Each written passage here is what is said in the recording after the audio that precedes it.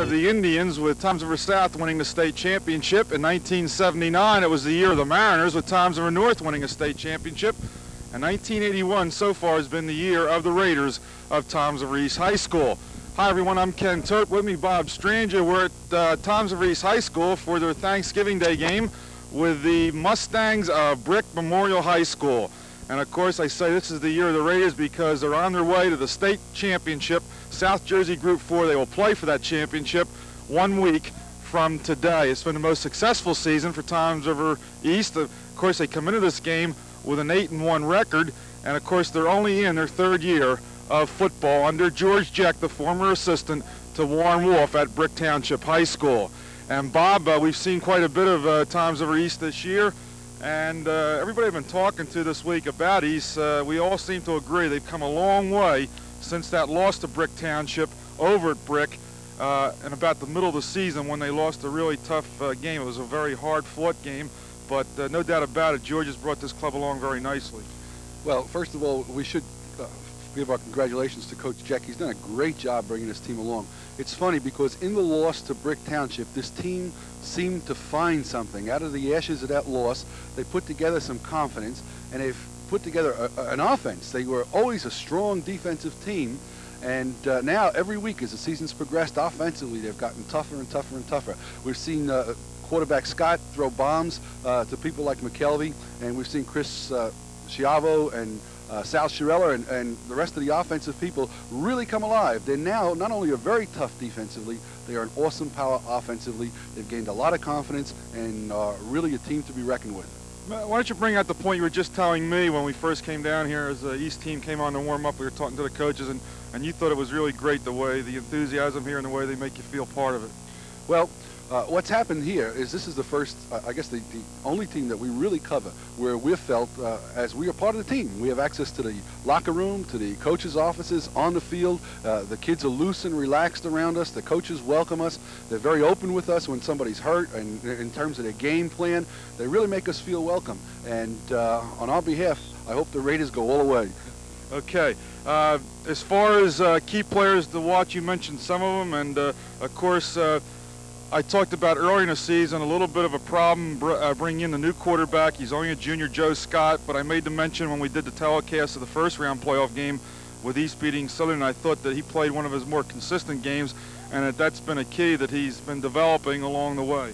Well, Scott's been able to uh, throw the bomb. We saw him earlier in the year, and he was passing short to medium ranges. But lately, off the play action pass, since they've been able to run the ball inside and been able to pick up big yardage on first down, that's given that East the short yardage situation on second down, and Scott's been able to deliver that 40 and 50 yard bomb. He did it quite successfully against Southern last week. He hit two of them and almost had a third one. The wind held it up for or he would have had three touchdown passes in one game. Bob, you had a couple of really great defensive teams up at Red Bank High School, and I think you have to uh, like this Toms River East 4-4 defense. Oh, they're tremendous. Uh, originally, when I started coaching, there were only two teams in the shore running the 4-4, us at Red Bank and uh, Ronnie Signorino uh, at Toms River South.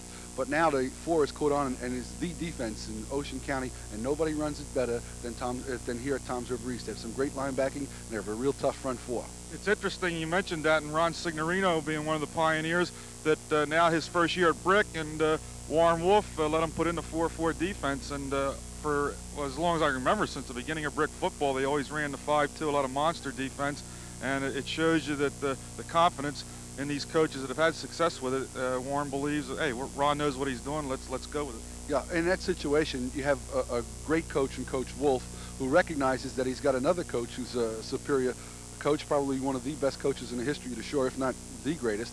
And uh, it shows great confidence in Coach Wolf that he'll change something that he's done his whole career and say to Ron Signorino, okay, Ron, the defense is yours. Run it like you own it.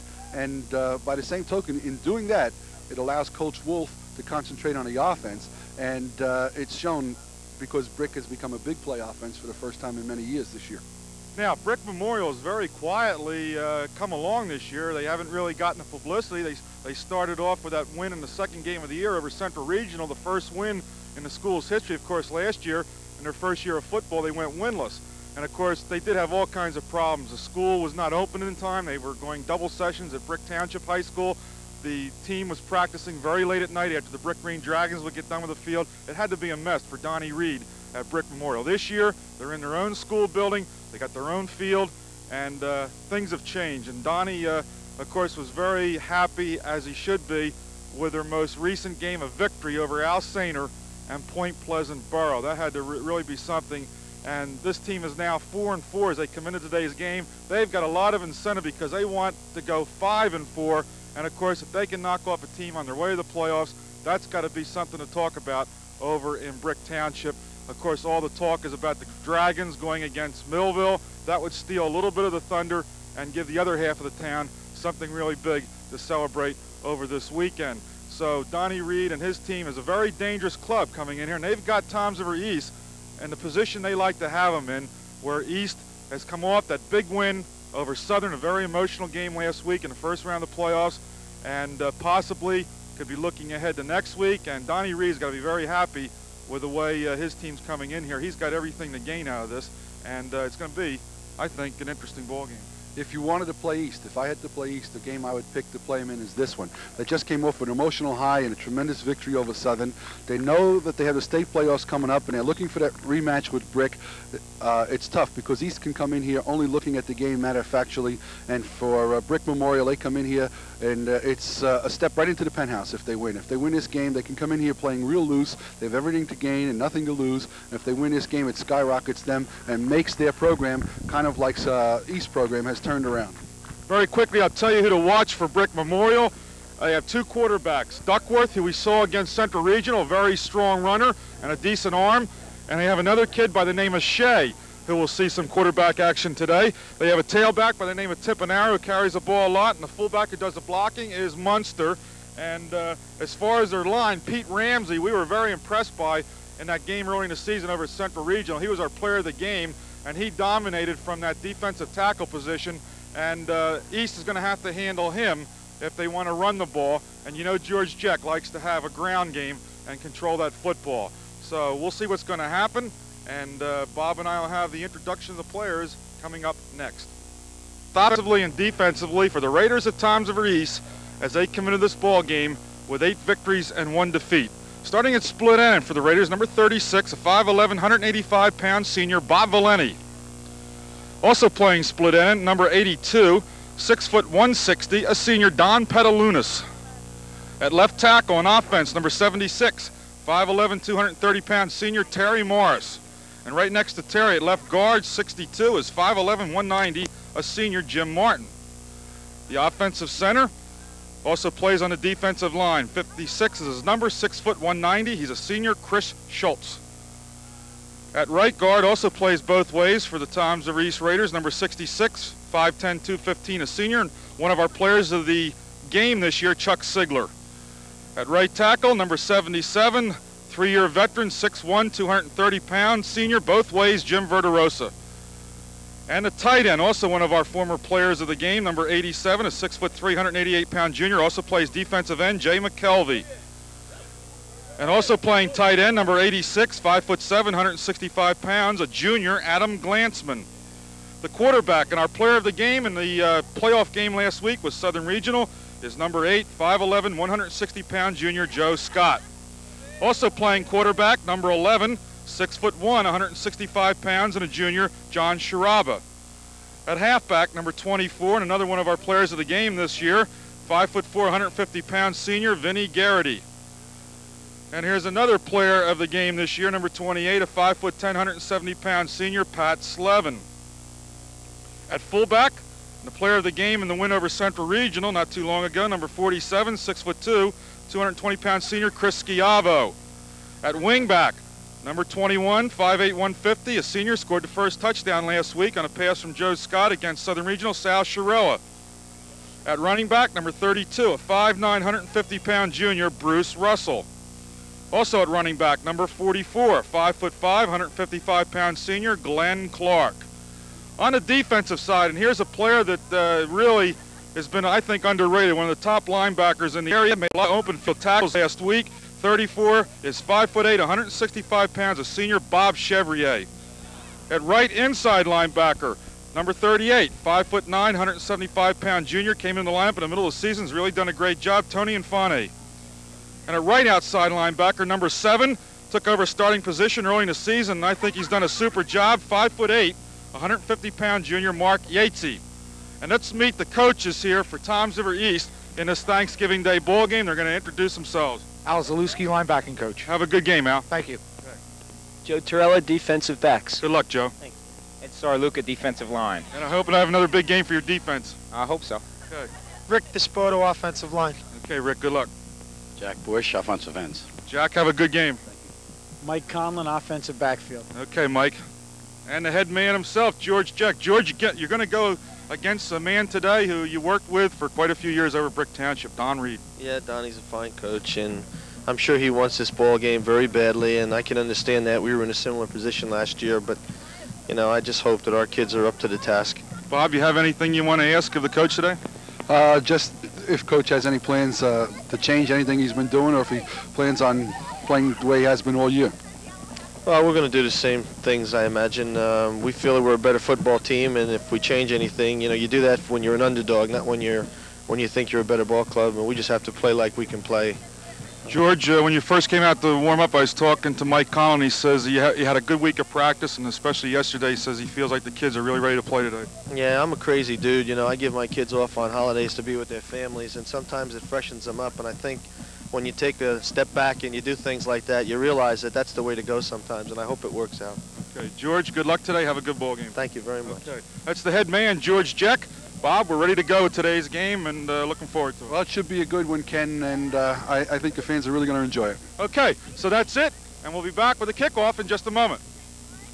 The New Jersey National Bank, along with the other participating sponsors, Carolina Furniture, Dunkin' Donuts of Bayville, Marita's Skiers Place, Luigi's Deli, Blair's Rental Service, the Berkeley Machine Shop, Danny's American, Gem Furniture, Service Star Hardware, Richards Motors South, and a House of Paneling. We certainly hope you'll support our sponsors as they support high school football during the 1981 season. And the first quarter is coming your way by the New Jersey National Bank, along with Carolina Furniture, Dunkin' Donuts of Bayville, and Marita Skiers Place.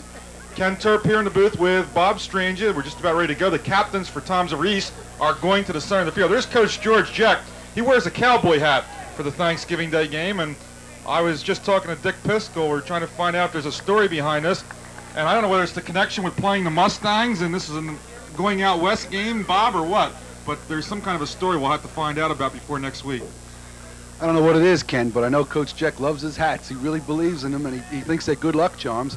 And his kids get behind him, they support him. So whatever it takes to get your kids behind you and get you to win, good luck to him. Chris Schultz is out at the center of the field with his co-captain Terry Morris for Toms River East. Bob, who are the officials? The officials for today's game, at referee will be Frank Chicatano. The umpire will be Bob Nyman. The headlinesman will be Ray Pennant. The field judge will be Andy Fleming. And on- working the clock will be Al Ditweiler. Toms Reese is going to receive the football. One of those captains for Brick Memorial is John Shea, the quarterback, number eight. And the other captain is number 87. And here we go with our problems with numbers because we have, well, let me, we have no 87 on the Brick Memorial roster. We're in for another one of those days, Bob. I hope not. It makes it very difficult, and it's not fair to the kids and their families. They, they get a few minutes to be seen on TV, and we can't identify them properly. So the Raiders are huddling. George Jeck has taken his cowboy hat off as he addresses his club in the center of that huddle. There you see George with the black and blue scarf, colors of River East. The weather today, it's uh, slightly overcast. day. The temperature is probably in the high 30s or low 40s. The wind is blowing directly across the field from the west and should not be a major factor in the game. I said East comes into this uh, game with an 8 and 1 record, and uh, Brick Memorial 4 and 4. Brick Memorial is in the Class B this year. They will go up to Class A next year and meet Brick uh, Toms River East in a conference game. This is a non-conference ball game, and uh, the most recent game was a three to nothing victory over Point Pleasant Borough, and uh, they've won two in a row. They beat Freehold Township the week before the Borough game, 13 to nothing. Toms River East will drop two deep. Pat Slevin to the near side, number 28. Vinnie Gearity, number 24, to the far side to return this kickoff as Brick Memorial in their white, traveling white, gold pants, gold helmets, and green numbers. Their colors are green and gold. A little bit of green from the other brick school. And of course, Tom's of East in their bad guy uniforms, all black with a silver a la the Oakland Raiders. It looks like a Green Bay Packer Oakland Raider game. And uh, Brick Memorial's kicker is Boyle, number 21, Danny Boyle, and he'll be playing some receiver today. Dan Boyle's a 6 foot 173 pounder. He will do the kicking off, number 21. Coach Jeck identified Boyle before the game as being one of the key players for Brick Memorial, and he felt that he had to be contained if uh, East was going to win today. A battle of the Warren Wolf disciples. Donnie Reed coached with George Jeck on the Brick Township staff for quite a few years. These are old buddies. They live down the same area. They both came from the Berkeley Ocean Gate area where they live, and and this is a friendship, but not a friendship as soon as that ball is in the air. And here we go with today's Thanksgiving Day football game. Far side of the field, number 38, Infante, Tony Infante, returns that kick and knocked out of bounds to the 30-yard line. Kick was shanked a little bit and didn't go very deep. and Infante made the grab. Was no time for East to set up a return. He just took it straight ahead as he's coached to do. Be interesting to see what East's game plan is here early in the game. All right, East comes up the line with Chris Schultz, the center, Jim Martin, Chuck Seigler, the guards, Terry Morris, Jim Verderosa, the tackles, Jay McKelvey, the tight end. Scott, the quarterback, pitches on the sweep, and it's going to be Schiavo, the fullback, just short of a first down at the 39-yard line. Coach Jeck was saying prior to the game he expected Memorial to blitz a lot inside. So he was going to open the game with a sweep, and here you can see it's a very quick toss for a short sweep with the big fullback Schiavo taking it. Watch, you'll see out of the wing formation. You see the wingback Chiarella come down and block, and Schiavo cuts behind two blockers and almost breaks it. Second and one. Split backfield. Scott wants to throw, and he is sacked. Coming in from the right side was number 23, Mark Gaspich, the right end. Mark Gaspich, a 5'11", 190-pound senior, and he's also a wrestler, and a good one. People may wonder why on a second and one Coach Jeck called a pass, but he saw something. Brick Memorial came up with a nine-man front. Had Scott been able to get the ball off, uh, it would have been real trouble because there are only two defenders back for Brick. But there was a safety blitz, and they got to Scott before he was able to pass the ball. Brick defense, Mark Gaspich, 190 pounds, the right end. Joe Marola, the right tackle, number 66, goes 208. The nose guard, Don Warren, 216 pounds. Draw, nowhere. And Brick Memorial wasn't fooled at all on a draw play. Number 40, Jeff Munster, the monster back, came up and made the stop. He's a sophomore, 5'9", 178 pounds. Fourth down, the Raiders will have to give up the football. Well, I line up for the kick, Ken. We might say that Brick Memorial comes into the game having, if there is, a psychological edge. For them, this is their season. For East, they have to win this ball game because they're going to the States. Here's the punt by Mark Yatesy. And it's going to roll, a good roll. Tom's over East roll. All the way down to the 31-yard line where the Raiders cover. No return at all as that kick uh, took a good, strong Raider bounce.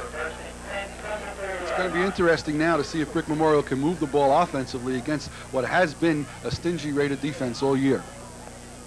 All right, the offensive lineup for, for the uh, Mustangs will have Jeff Munster, the fullback, number 40, and Mark Tippanaro, 14, is the tailback. The quarterback, a senior, Bill Duckworth. He wears number 7. Mark DeStephanus is the slot back, number 5. Quarterback Duckworth keeps it, and he can't get out of the backfield. The Raiders stacked it up. Coming up quickly was Chiarella, number 21, and McKelvey, 87, the, the end, to make the stop. All right, we had a tight power I formation, and the quarterback just sprinted out behind three blocking backs and tried to get to the corner, was unable to do it. Loss of about a yard and a half on the play. Call it second down and 11 for the Memorial Mustangs. The tight end for Brick is number 82, Joe Osborne. And the split end is 21, Dan Boyle, who kicked off to start this game. Again, Duckworth coming around the right side, same play. And this time he gets a couple of yards, but Chiarella came up once again, number 21, to make the stop, and he had help. Number 8, Bob Joe Scott, the safety man, was there too. earlier this year we saw Brick Memorial play, and they had a tendency in that game to repeat a play. They'd run it once and then come right back to it, either on the next play or shortly later. There again, they ran a power I formation and came to the sideline with the same play. Well, they got four on a play, so third and seven for Memorial. Duckworth throws, had a man wide open all alone, and that was Tippanaro, the tailback, but he was pressured. Out of the two split, uh, the two lead backs in the power I formation, both backs did a flare out of the backfield, and a linebacker failed to pick up the back coming out uh, to the left side of the field. So Brick Memorial goes nowhere on their first series of plays, and they'll have to give up the football. And doing the punting will be Anthony Argandizia. He's a big lineman for Brick Memorial. Deep for East is Slevin, uh, Slevin and Gearity. No rush. Going to go to Gearity's side, and Gearity's going to have to chase it, and it's going to go out of bounds around a 23-yard line. So the Raiders take over, first and 10. That was about a 45-yard punt, Ken. And I said Argandizia is going to punt. It was not Argandizia. It was Pete Ramsey, number 78. We, we saw Ramsey earlier in the year, Ken. He was an outstanding defensive ball player. He was our player of the game, Pete Ramsey, against Central Regional early in the season. He plays uh, tackle on defense.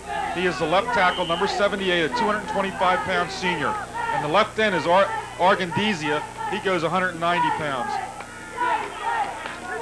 Now the hit was Schiavo, the fullback, over the left tackle spot. Picks up a couple of yards. And it'll bring up a second. He actually got about three on the play, second and seven.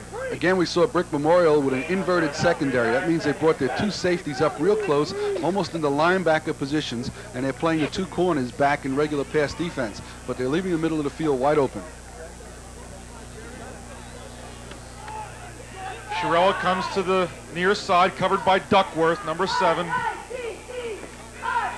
And no hole at all behind the blocking of Verderosa's side. And they couldn't move him out. And uh, Brick is hanging tough on defense. On the bottom of the stack is the nose man, Don Warren, a 5'5", 216-pound junior. What you're seeing, Kenny, is almost a nine-man front at Brick.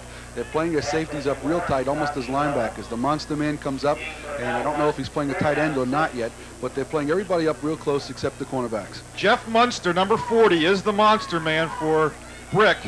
He's a sophomore. Ray Rossi, 88, is the safety man. Herb Hume, 42, is the corner on this side for the Mustangs. Pitch, and wow, is that play stacked up very quickly by Ramsey, the man you were just talking about, Bob. And we had a great outside uh, pressure put on by number 87 for the uh, for Brick Memorial. And 87's a man we don't know who it is, Bob. that's a guy, and he put on tremendous outside pressure, and he was reading that pitch all the way. Brick Memorial is looking for a winning season. If they can win today, they are four and four coming in. Yatesy punts and fair catch by Duckworth. And it'll give the uh, Memorial Mustangs excellent field position at the 49-yard line of the Raiders. On the exchange of punts, the Mustangs gained about 25 yards. There's a lot of pressure that time as they went to try to block the kick. Had they blocked the kick, they'd had the ball on about the 20-yard line. When we get a timeout, Bob, we'll check with the PA announcer and see if he was informed as to who number 87 is. It's really a shame when you're not, you know, you don't get the information from the coaching staff on these number changes. Here's the quarterback rolling. This is Shea, the other quarterback, number eight. And he's knocked out of bounds around the 45, pick up about four yards. John Shea is the senior, like Duckworth. They have two senior quarterbacks. Shea is a little taller. He's 6'1". Duckworth's 5'9". Duckworth a little heavier by five pounds. Getting back to the number situation, Ken, uh, it might be interesting to remind the fans that uh, we go down before game time and check with the coaches to try and avoid situations like that. I think sometimes the coaches aren't even aware. Uh, maybe an assistant coach changes the number. Here's a movement by number 23 in that backfield who jumped the gun. And that'll be a illegal procedure penalty against the Mustangs. Mark Gaspich jumped too soon. First period action here at uh, Vincent Dvorak Field, Tom's Reese High School. 6.15 left. This is the Thanksgiving Day rivalry between Tom's River East and Brick Memorial. And of course, uh, the game was moved two days past the date due to the playoffs. We're seeing this game on Saturday and not on Thanksgiving morning. And it is a morning game. They kept the starting time at 11 o'clock. Brick Memorial can't afford to make mistakes like the uh, procedure penalty there if they want to beat a team as talented as East. I think what we have to watch for here is that pass play that we saw earlier where no one picked up the back coming out of the backfield. Second and 11. Rolling out and being pressured by McKelvey is Duckworth. Jay McKelvey, who had that super game against Southern around Halloween time, really came charging through there, and the Stewart made the sack. Now here you see the talent of, a, of an excellent coaching staff like Coach Jeck has. Uh, they saw that they were beaten on that pass play earlier. They made a defensive adjustment. Here on a replay, you can see them try and run a pass play, but the great pressure by McKelvey gets to the quarterback before he can set up and throw the ball. That defensive front, Jay McKelvey's 87, Chris Schultz is number 56, Chuck Seigler is 66, and Jim Verderosa is number 77. Right now, they don't have Verderosa in there. They're going with a quicker man at right end. And here goes a by, right by the defender. Got a good gain on the play, but it's still long yardage for Brick Memorial, so they're going to have to give up the football. Brick Memorial tried to run a draw play, which was a good call in that situation. They picked up about seven yards, but they had about fourth and 22, so it still brings up a fourth and 15. Once again, Slevin and Gearity are back. Ramsey standing on a 32 to punt. No rush. Good strong kick. Gearity goes back, fumbles it, picks it up, and is hit immediately by Boyle. An excellent coverage, and we'll take a timeout. Stay on play as the Raiders are back at their own eight-yard line on the excellent punt by Pete Ramsey. They try to wedge it out, get a little better field position. They go off the right side, and number 70, Argandizia, the uh, left end, made the tackle on Schiavo. The Raiders have to settle down here and continue to do just what they did and power the ball out of there, particularly when they're here in their own territory. They can't afford a turnover, which would give the momentum of the ball game to Brick Memorial. Second and five for the Raiders. Gearity and Slevin, the setback. Chiarella, the wing to the left. And they come to the left side, and Brick is really charging across that line of scrimmage. The monster man, Jeff Munster, charged through, and they'll take a loss on a play. Again, Brick Memorial with almost that nine-man front and blitzing people, and it's a very, very, very difficult defense to run against. That's going to bring up third and eight for the Raiders. Bob, with this early starting time, I'm wondering how many people are going to zip over to the Brick Township game, which starts around 1 o'clock today, and catch the second half. And the only problem I thought about, the only problem is I bet you're not going to be able to get anywhere near that school on Chambers Bridge Road. It's just going to be jammed with cars. Third and eight. Schiavo right straight ahead, and he's stacked up by several white shirts. And on the bottom was the man we found out who he is, Bob, number 87, Paul Walski. He is the strong linebacker, strong side linebacker, a 5'10", 170-pound senior. Yatesy at his three-yard line. The punt. And Mark gets it off. High punt. Duckworth at the 46. Hit immediately by Chevrier. And here's the man I talked about, Bob, uh, on the introductions that hasn't had a lot of publicity, but I think he's been a super outside linebacker all year long. Chevrier, last time we saw him, Ken against Southern Regional, made four or five outstanding tackles in the open field. He was the only man who was really downfield to cover that punt. There were two or three blockers around. He penetrated them and again made a great open field tackle. And he delivers those open field tackles with a lot of power. Chevrier, a 5'8", 165-pound senior left outside linebacker. Up the middle they go with number 23, the ball carrier, and ran into a wall. Mark Gaspich was the ball carrier. Ken, the Raiders have to force something here. They have to start making some things happen. They're the more physical of the two teams, and gradually Brick Memorial is inching closer and closer on these exchange of punts to the uh, Raider goal line. Uh, and if the Raiders are going to get that big break, they have to force it on defense. Those linebackers for East have Chevrier at left side, Chris Schiavo, the 220-pounder on the inside. Tony Infante, 175-pounder, right inside. And Mark Yatesy, the right outside linebacker, 150-pounder. Here's a good run by Tipinaro, the tailback, and he looks like he's got a first down. Out of that power I formation, they just split the two lead backs, and they round up running a blast, a blast play back off the other side to the second back, and he picked up good yardage. Just short of a first down, and they need another yard on third down.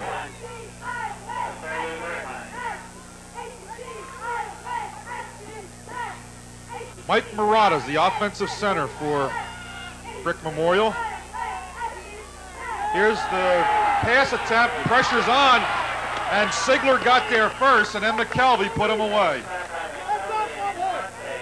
East has not woken up yet offensively, but they certainly are tough up front with that defensive line. They get great penetration in there on any kind of passing situation.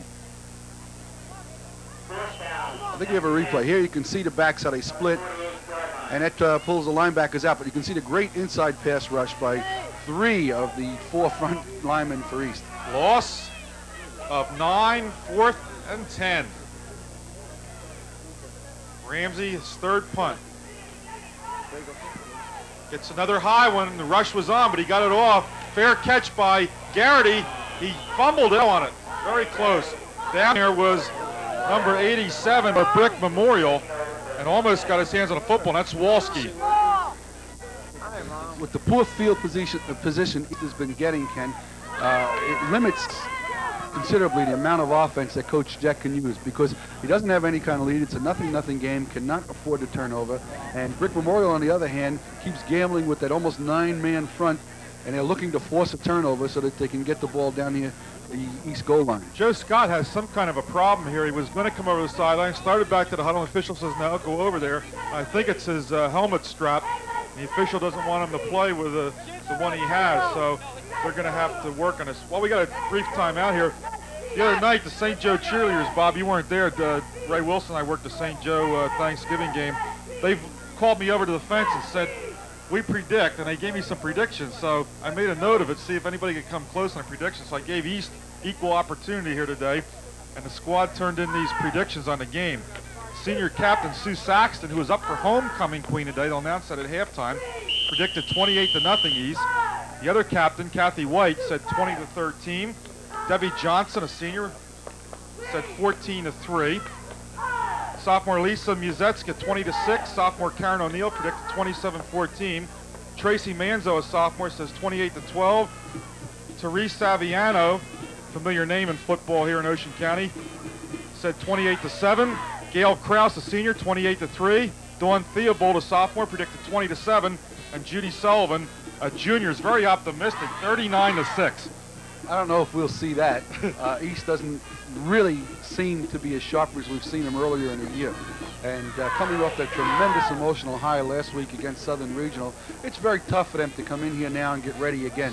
Ara Parseghian, when he was coaching at Notre Dame, said you can only get a great team up three times a season. So we'll see who which girl comes the closest today. Girls, good luck. Here's the first down play by East. And Joe Scott hands it off, and right there was number 66, Joe Moreau, the right tackle.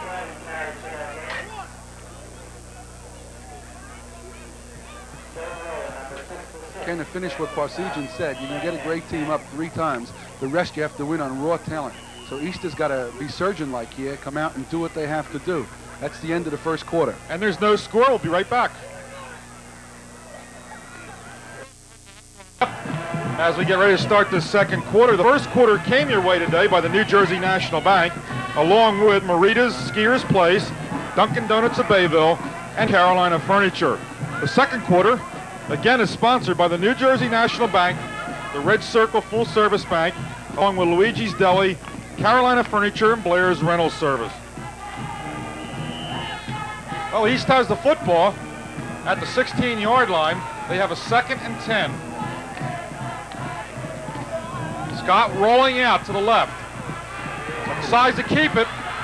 And he makes a nice gain of it and goes out of bounds right very close to the first down marker. A very gutsy call by Coach Jeck and a very heady play by Scott.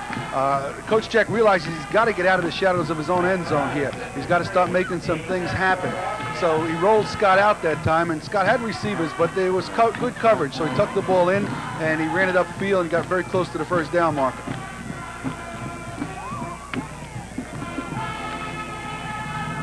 Here's the measurement. Now they do have it first down. All right.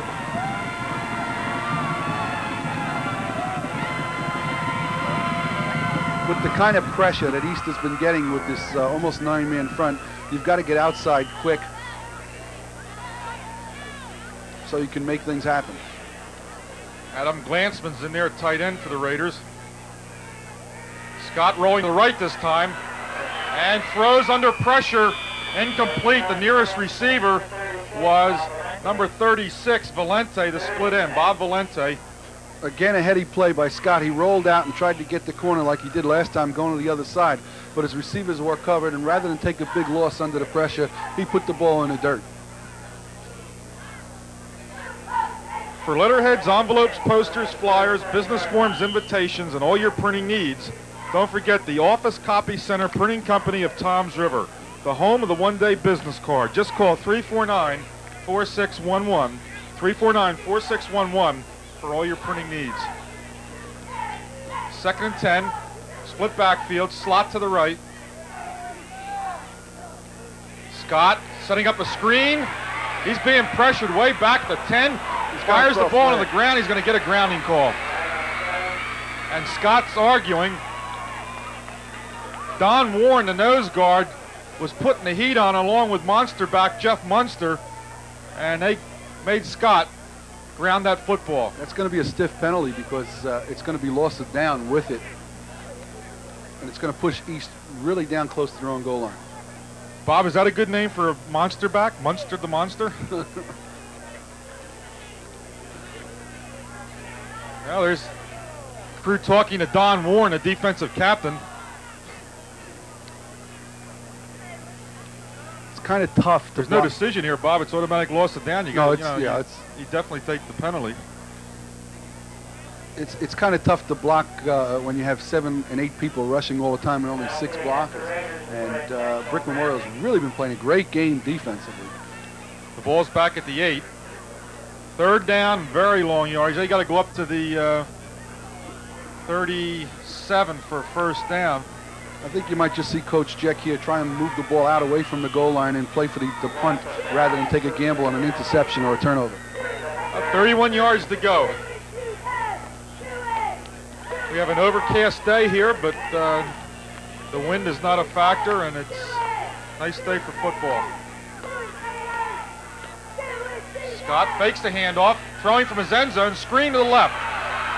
And Valente still on his feet, and he'll get about a eight-yard gain on a play, but they're going to have to give up the football. I have to say this, Coach Jeck's got a lot of guts uh, to, to, and a lot of confidence in his team to pull a play like that, pull a screen pass out of your own end zone.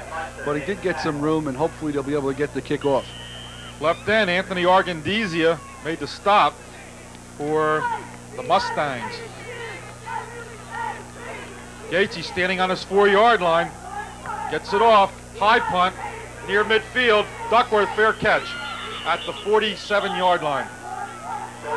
It was an excellent punt by Yatesy, considering he had a punt under pressure from both outside people, and he got a good high punt, which allowed coverage downfield.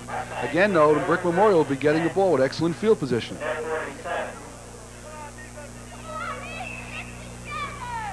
All right, Shea comes in a quarterback. John Shea, 6'1", 170 pounds.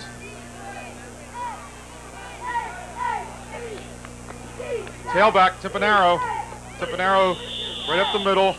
Picks up about three. Second and seven. We have somebody shaking up for the Raiders.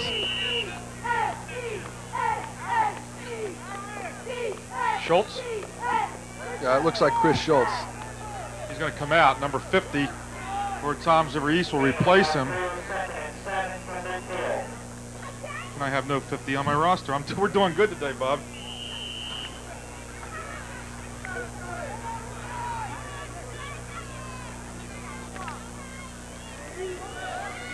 Second and seven.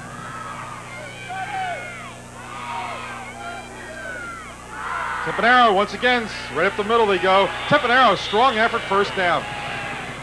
Brick Memorial has continued to run out of a power eye right formation, and they fake to the fullback and give to the second back. By having two up backs, it freezes the East linebackers. We'll have a replay coming up here, Ken, and you can see that the partial fake to the fullback and give the second back. Now that fake freezes the inside linebackers. And he saw, he saw a great run there. It almost popped all the way. I've just been told number 50, Scott Harris, who is 52 on our roster. Here goes Timpanaro again straight up the middle. And he runs into Mr. Verderosa and the gang. And we talked, Ken, before how Brick Memorial shows that definite tendency. If they have a good play, they come right back to it on the next down.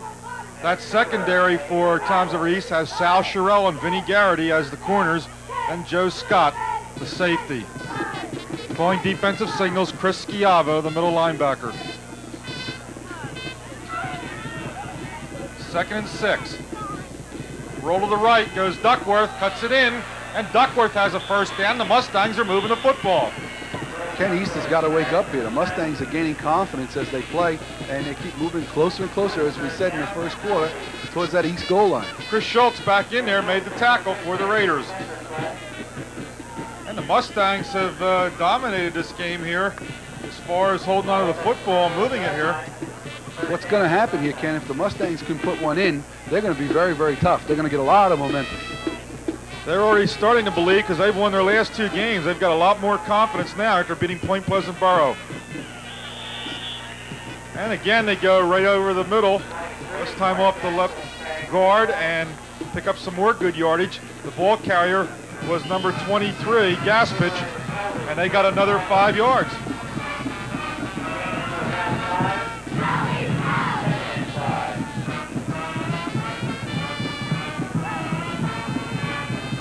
See the way they're coming up that line of scrimmage that they are enthusiastic. Of the tailback. He's down to about the 20-yard line. Again, they, they find a hole, they hit that hole, and they come right back with it. just short of the 20, about the 21 yard line. Third and three. Donnie Reed operates with that philosophy that if you find the hole, go at it until they stop you. In comes Duckworth. And Dan Boyle comes in at split end for the Mustangs. What you might see here now is the fake run and the pass, hoping to catch East off guard and get the touchdown. They keeping those ends tight. Duckworth tries to roll. Jay McKelvey was there along with Chevrier. And those two names have been consistent with Toms River East defense for quite a while, Ken. So it'll bring up fourth down, loss of a yard, fourth and four. If they tried a field goal, it would be about a 42, 43 yard field goal. It's going to be a long attempt. There you see our predictors, the cheerleading squad of Toms River East, now going into the prog- prognosticating business. That means predicting of football games. You can see how coaches uh, who played under Warren Wolf have learned their lesson well. Donnie Reed realizes that this is a crucial play early in the game here, and he wisely took the time out to, to consider all his options and not make a hasty decision that he would regret later on. I see Joe Adelizi here. I thought he'd be over at the Brick uh, Vi- uh, Millville game. Joe Adelizi, the Asbury Park Press sports editor, is here on the sidelines. A former Toms River South Indian. Ken, I think a lot of people are planning on doing what we said earlier, to catch this game and then go get the second half of the Brick Millville game. But I agree with you. I don't think you're going to be able to get anywhere near the Green Dragons field this afternoon. It's going to be a rough problem getting the parking space. So we have a timeout here. The clock shows 7:48 left in the half. No score. And so far, East has been hampered by very poor field position, and also right now they're having a problem stopping the power. Several changes were made. Memorial. Several changes were made in the offensive unit. Uh, we might see something tricky coming up here. All right, Tippanaro moves up the fullback from the tailback slot. They give it to Tippanaro. He's met right at the line of scrimmage by Infante, Tony Infante, the uh, right inside linebacker. I think Ken Brick Memorial was going to try and run an option, but when a quarterback gave the ball to the fullback, before he was able to ride him into the line and take it out, he was hit by a rugged Toms River East defensive line. So the Raider defense holds at the uh, 22-yard line. And the offense goes to work. Schiavo didn't get much. Number 53 on the bottom of the stack, weak side linebacker Mike Murata. The Raiders have to start establishing some kind of momentum here. They have to get back into a basic game plan, start powering the ball and mixing up their play selection and move that ball down the field. So, Glenn, Glenn, I just want to say Glenn Clark went into the ball game for Schiavo. Glenn's 44. Go ahead. so far this afternoon, Brick Memorial has contained them and stopped them from doing that by making big defensive plays. It's a second and eight. They keep the split end in tight. Valente on the right side. And Memorial jumps off sides. Don Warren and Mike Murata shot through before the ball was snapped. Five-yard penalty against the Mustangs. You may have seen Scott change off on his cadence there. Occasionally when a team is coming at you very hard defensively, if your team is well disciplined and you can change cadences, uh, you can take a little bit of that defensive charge off them by changing count and getting that penalty. Second and a long three yards. Slevin is trapped behind a line of scrimmage. We have, Gang tackling by the Mustangs. we have another flag down, Ken. And leading that charge on the bottom of the stack was the nose man, Don Warren.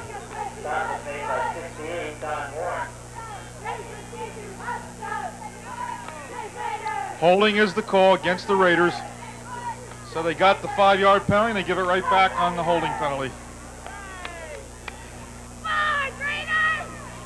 Not a fair exchange, Bob. No, you get five and give up 15. It's not, and what it's going to do, it's going to once again put East back close to their own goal line, and uh, they've been unable to get any kind of consistent offense going all afternoon. And just when it looked like they may have something going here, they're going to have long yardage again. George Jeck has Chris Schiavo stand next to him, getting ready to send him in with a play. As he has the headsets on to the coaches up above. Penalty takes the ball down to the 14. And in goes Schiavo replacing Glenn Clark with the next play. I don't think East has gotten outside their own 35-yard line this whole half, Ken. Wing to the right. I formation. Scott rolls. And good pursuit. And the Mustangs are right there to stack up Scott. On the stop, Mike Murata, the linebacker. Now, that was not an option pass, Ken. That was run all the way. Scott rolled out, took the ball, tucked it under, and just kept on going behind his blockers. Here you see the scoreboard, the clock running. Under six minutes. This is third down. About 17 to go. So the Raiders haven't been able to get any spark going here in the first half. Scott wants to throw. Pu- fakes a couple pumps. Now he's going to run it out. Duckworth comes up, misses the tackle. Scott fumbles the football. Yeah, but he was down, Kenny. He fumbled as he hit the ground, and that was a great play by Scott. He went back and he saw his receivers covered. He saw daylight up the field. He tucked the ball in, and he's really close to the first down. I think he's got it. Duckworth came up and missed the tackle as he Scott put a move on Argandizzi. Finally made a stop. We have to take a timeout. We'll be right back. And it's going to be Slevin. There's a flag after the play, and I believe this is going to be against Brick. The official is talking to one of the. It's Duckworth he's talking to. I believe it's going to be a personal foul. He's talking to two players here, Ken. One from East and one from Brick Memorial. Chiarella and Duckworth apparently got into it.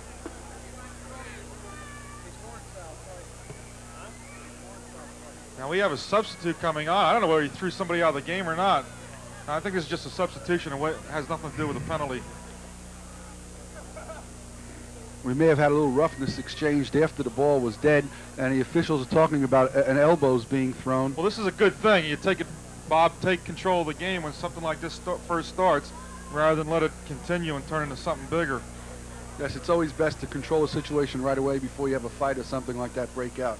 So they're talking to the captains now to get this thing uh, straight, the way they want this game played, as Chris Schultz came up to talk to the official. And they'll march off the 15-yard personal foul penalty against the Golden Mustangs, and that's going to bring the ball up to midfield. You have the frustration levels of both teams building. Brick Memorial, because they've been playing uh, in the close to the east goal line the whole first half and been unable to put the ball in. And East is a little frustrated because they've been unable to put a drive together. But now with Scott's brilliant play and a penalty coming up, they're going to have the best field position they've had all half. Looking at the uh, Mustangs, and if you're interested in some of the teams they played this year, they opened with Wall, which is a super club this year, lost, then beat Central. They shut out Manalapan 13-0. They lost to Asbury Park by only four points. That gives you an indication of the kind of ball they played. Asbury Park is a talented football team. They beat Allentown by a couple of touchdowns, lost to Manasquan by only one point, and then uh, the last two games beat Freehold Township and shut out Point Pleasant Borough. So they're coming off two shutouts in a row, so their defense has certainly done a great job for Coach Don Reed. No question of it, Ken. Brick Memorial has definitely turned a corner, and they're on their way to being a good football team and having a good program. First down. Slevin slips as he cuts inside and immediately is fallen on by number 21, Dan Boyle. Apparently, I was looking for the penalty to come up to midfield, Bob. The official marched off and stopped at the uh, midfield straight. Apparently, there's two penalties on a play. I don't know. They must have called offsetting penalties, but I cannot understand why it became first and 25 if that was the situation. Apparently, it was uh, unsportsmanlike conduct was the call against the Raiders. After the personal foul, one of the East players answered back and got the unsportsmanlike conduct. After the ball was dead and the penalty was assessed after the first down. Here's Scott to throw. He's going long. He's got Valente behind a man and overthrows him. At the 15-yard line, Valente got behind Herb Hune. Yeah, Valente, I think, lost Scott and thought Scott might have been sacked and didn't know which way to break, and then all of a sudden the ball appeared out there, and he was uh, a couple of steps behind it. That was the first long pass we've seen today by Toms River East as Scott went for the bomb on third down. We're getting an explanation from Al Detweiler, one of the officials here in the press box. What Al said to us is the first penalty call was a, a live ball penalty, so it was assessed, and the second one was a dead ball foul, and therefore was assessed after the first down. Third and long for the Raiders. Scott dumps it off to Slevin on a little hitch pass. Slevin up to midfield and met there by number T3, Gaspich. It was a good play, Ken, but it's with all that distance to go, it's going to bring up fourth down. Well, the Raiders will try now to put Brick in bad field position as they'll punt from midfield. Dropping back is Yates, Yatesy at the uh, 37. High snap, but he's got it. Good kick. Kick is going to send Duckworth backpedaling, and he'll let it roll. That's going to be down on a five-yard line. That ball slowed up and gave East a chance to come down, down that ball in the five. So this is going to be a reversed situation now. The Mustangs are going to be bottled up in bad field position. Can we have an East player down on a field, but while we wait to identify him, I think we have to say that East, if it was not for that penalty, that was the best that East has moved the football this half. And East, I think, is beginning to wake up a little bit and realize what they have to do. Pat Slevin using his speed to get down there on the coverage and down the football at the five-yard line. Ed Sarluca just coming off the field. He's the first one on there to see about the injury. Had 3.16 to go in the half, Ken. And uh, I think you're going to see uh, Ed Sarluca's make his defense pressure here and try and force a turnover so they can get a score before the half. Course, talked Donnie Reed coming from Brick. One of the coaches on the Brick Memorial staff is a former Central Regional standout, John Bach, who was a running back for the Golden Eagles. And uh, one of my old friends from Phillipsburg, uh, Steve Geralaman, is handling the defense. He's the defensive coordinator for Mustangs. That's Chevrier, Chevrier is shaken up. He's a big part of this East team. Yeah, it's good to see him. I think he just had the wind knocked out of him. He's a tough kid. He'll be back. I was a little worried there because the loss of him, he's their best open field tackler. We have three minutes and 16 seconds left in the first half. Still no score. And Brick Memorial huddling in their own end zone. the pressure in the game now has switched over to Brick Memorial. They're the ones who can't afford the mistake and uh, have a turnover down here because it would be very costly. Coming up at halftime, we'll be talking to supervisor of athletics here at Toms River East, Bill Lundy. We'll talk about the possibilities on the playoff site for next week's state championship game. Timpanaro right back to the line of scrimmage, and that's the best he could do. McKelvey comes across and makes the stop. I think you may see Coach Jeck here uh, use a timeout soon so that he can uh, preserve some time if they get the ball. If they stop Brick Memorial down here on this next play, I think you may see a timeout called to uh, preserve some time for East when they get the ball.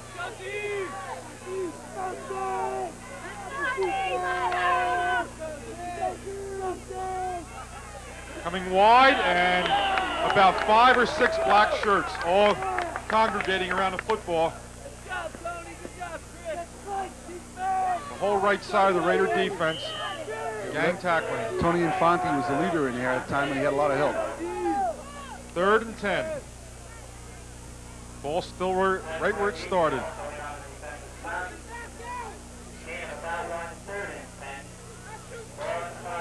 Down to the two-minute mark. A lot of seconds ticking off, Ken. I think I got to use the timeout.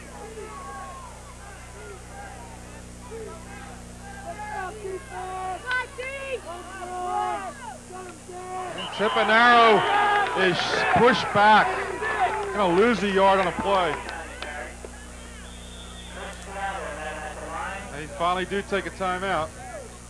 That's going to give them good field position with 142 to go. I think you might even see a block called here because if they get the block, the kicker's got to kick uh, fairly shallow. If you get the block, you got a touchdown. One minute, 42 seconds. Meanwhile, if you get the penalty, it doesn't really hurt you because they get the ball with very little time left deep in their own territory. Ed Sarluca, defensive coordinator, is talking to his club. That's the defensive unit that really shut down Southern Regional in two ball games this year. Quite an accomplishment. This is a good position to be in for a coach because whether you go for the block or you go for the return, you wind up with good field position. If you got confidence in your return man, you go for the return and you'll get the ball still, uh, hopefully around a 25, 30 yard line.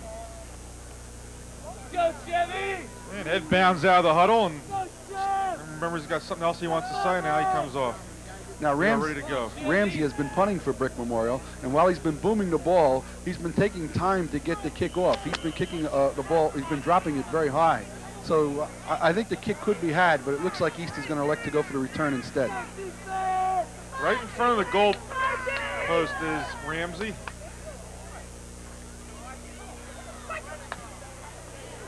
And it's going to be a very short kick. And Gearity says, no, I won't do it. He le- lets it roll. Play it safe. You and got- Memorial downs it.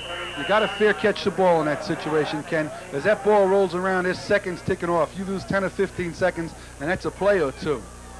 Well, with 128 left in the half, the Raiders are 39 yards away from the goal line.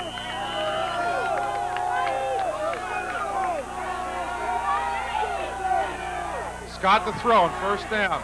Screen being set up, and Scott doesn't get ball off. He is going to throw it to Schiavo, and Schiavo is hit by number 87. That was purely an improvised play. Scott was back there looking for the screen. It wasn't set up. He rolled out, saw Schiavo threw it, and turned uh, what would have been a loss. Uh, he got the ball back to the line of scrimmage. Paul Walski, the linebacker, on a stop. The Raiders pick up some good yardage on the play. It'll be second and four. Scott again to throw. Down the middle, Chiarella. Chiarella's got it at the 16-yard line. Sal Chiarella. First and 10 Raiders at the 16. Chiarella ran a beautiful pattern, Kenny. Just brought that short post pattern, got underneath the drop of Brick Memorial's defenders. Steve Meza comes in, number 16 for the Raiders. And the clock is running, 50 seconds.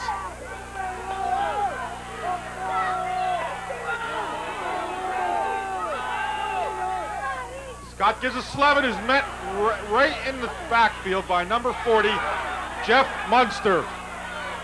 East fans yelling for a personal foul here. There is a flag on the play. I think the East fans were hollering because it looked like he broke away, uh, but it was after the whistle. And the clock is stopped. 35 seconds on the timeout. East stops the clock.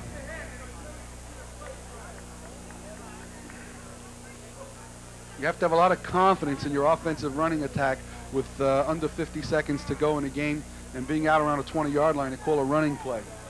If you elect to pass the ball, you get three shots at the goal line. A running play, you're only going to get two, maybe. Well, on the penalty, they should have um, should have saved the timeout. Yeah, I, they called it before they realized they had a penalty. I think the penalty is going to be against East.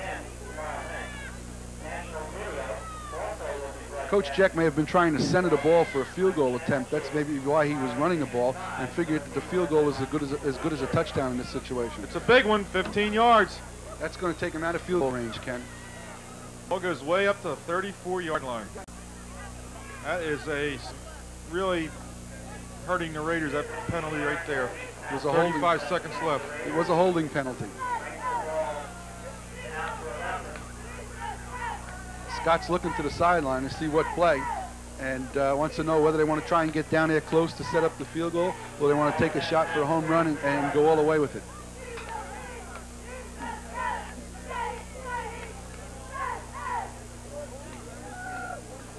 regardless what happens in this situation, I'm sure Coach Jeck is going to have some choice words for his Raiders when they get in those locker in the locker room.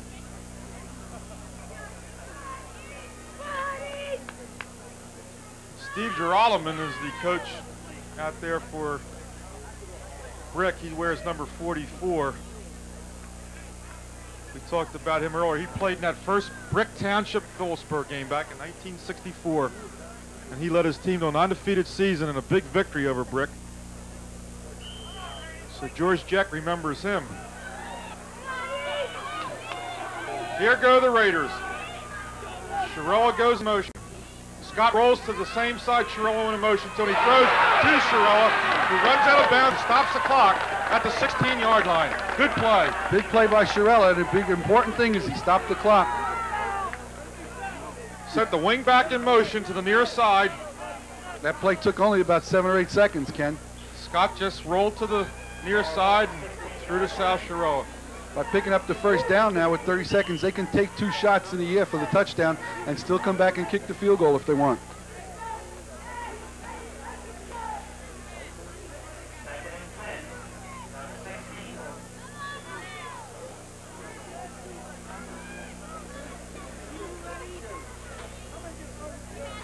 Shoot! Chiarella and Schiavo go to the far side. Scott pitches to Slevin, flag on a play.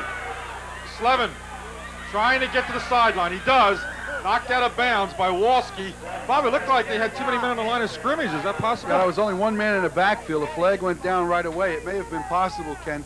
I was really watching because I think what happened there is they were looking to set up a halfback option pass to Chiarella, and Chiarella was chucked uh, very quickly by the linebackers. So the ball was just kept, and Slevin took it outside to stop the clock. It was good thinking on his part. Just seemed like everybody was up in that line of scrimmage, and uh, I think it may come against the Raiders for illegal formation. Yeah, the penalty is going to be against the Raiders, Ken, but I'm not sure what the call was. Again, it's going to hurt them. Five yards, Yep. back to the 20. Illegal procedure. About five changes came into the lineup for the Raiders. I think we're going to have a field goal attempt. 23 seconds left. I would take one more shot at it, Ken. Run that clock down a I little see bit more. Yatesy in there, and he's the holder, and there Yeah. goes the tee. Yeah, they're going to play safe. So it is going to be a field goal. So you see Mark Yatesy going in offensive huddle. It's an indication that they're going to attempt a field goal. Coach Jeck here realizes that Yatesy's going to be under pressure and doesn't want to wind the clock down too much and have him kick with a, uh, a running clock. This way he's got the timeout, he can steady his ball club down, and that field goal looms very big here if they make it. Verderosa will attempt the field goal. Yatesy will hold. Momentum, Kenny, momentum, the name of the game. If Memorial, if the field goal is not good, Memorial is going to go in at the half feeling that they contained them. If the field goal is good, East is going to maybe wake up here. George Jeck still talking to some of the players. I don't know, we may have a fake here. He's talking to some of his Raiders, and maybe he's changed his mind now because Yates's coming off. I think he's changed his mind. He, he's not going to attempt a field Yeah, goal. I think he realizes he still has a timeout left, so he's going to try one more shot at uh, getting the six, and if he doesn't, he'll come back and uh, try and get the field goal in. So look for the Raiders to throw the ball. And it'll probably be a pass down the sideline.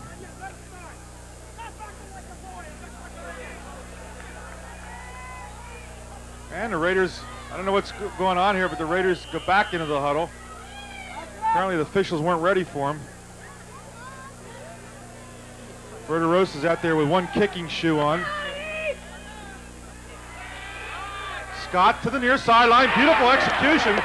And Valente immediately stops, steps out of bounds. Duckworth on the coverage with 25 seconds. The clock stops. And on a deep flag pattern, Sal Chiarella broke and was open in the end zone, but uh, Scott had already delivered the ball because he didn't want to hold it. He wanted to get in there close. Now they still got time to work with, Bob. They can still try another play here.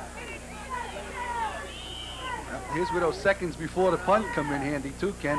They could have saved about 20 seconds and had 45 seconds down in here to run three or four plays by calling that timeout a little earlier. Well, they're going to run another play. They sent Adam Glanzman in with a play, replacing McKelvey at end. Now the clock stopped right now with 25 seconds left. Scott being pressured, avoids the one rush. He's still on his feet. And he better dump the ball off. He's got him. He's got him in open. Touchdown. Beautiful play. What a brilliant play by Chiarella. as Joe Scott really had to improvise as he ran all around that backfield. And the touchdown to Adam Glanzman, the man who came in with the play at tight end. I said Chiarella, but I meant Joe Scott. He broke three tackles, got away from all kinds of defenders, and then with a defender barreling into his face, managed to unload the ball. The receivers, knowing he was in trouble, did the smart thing and ran with their quarterback and got open. Scott took a pounding, but he got him in the end zone. Scott is limping off. Here's the replay. You can see Scott here get away from one defender. He rolls right, turns around, rolls left, picks up a block, gets away from a second defender, picks up another block, sets up, sees his receiver, knows he's going to take the hit, but still gets the ball open for the touchdown. Extra point by Verderosa. Yatesy holding. It's up. Good. That was a 16-yard Joe Scott to Adam Glanzman touchdown. Glanzman, a 5'7", 165-pound junior. It was actually a lot more yardage than that involved, as Scott must have run for about 25 yards before he threw the football, and he stiff-armed big Don Warren, number 68, the nose guard. Ken, I said earlier that what a good team only gets up three times a year, and they've got to win just on sheer talent. And there you saw a case of talent. The talent of Joe Scott making a big play. What a big lift that's got to be for East. That had to be one of the most exciting plays we've seen all season. And the East Raiders, with 11 seconds left in the half, get on the scoreboard. Seven to nothing. Toms River East leading Brick Memorial.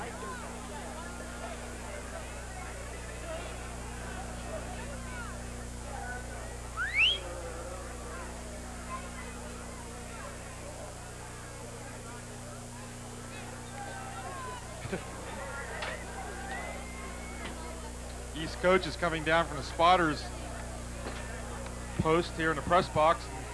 Had a little bit of a smile on that play as they went to go into halftime. Little by little, Ken, you could see the momentum start to switch over to East in the latter part of that second quarter. Here's the kickoff.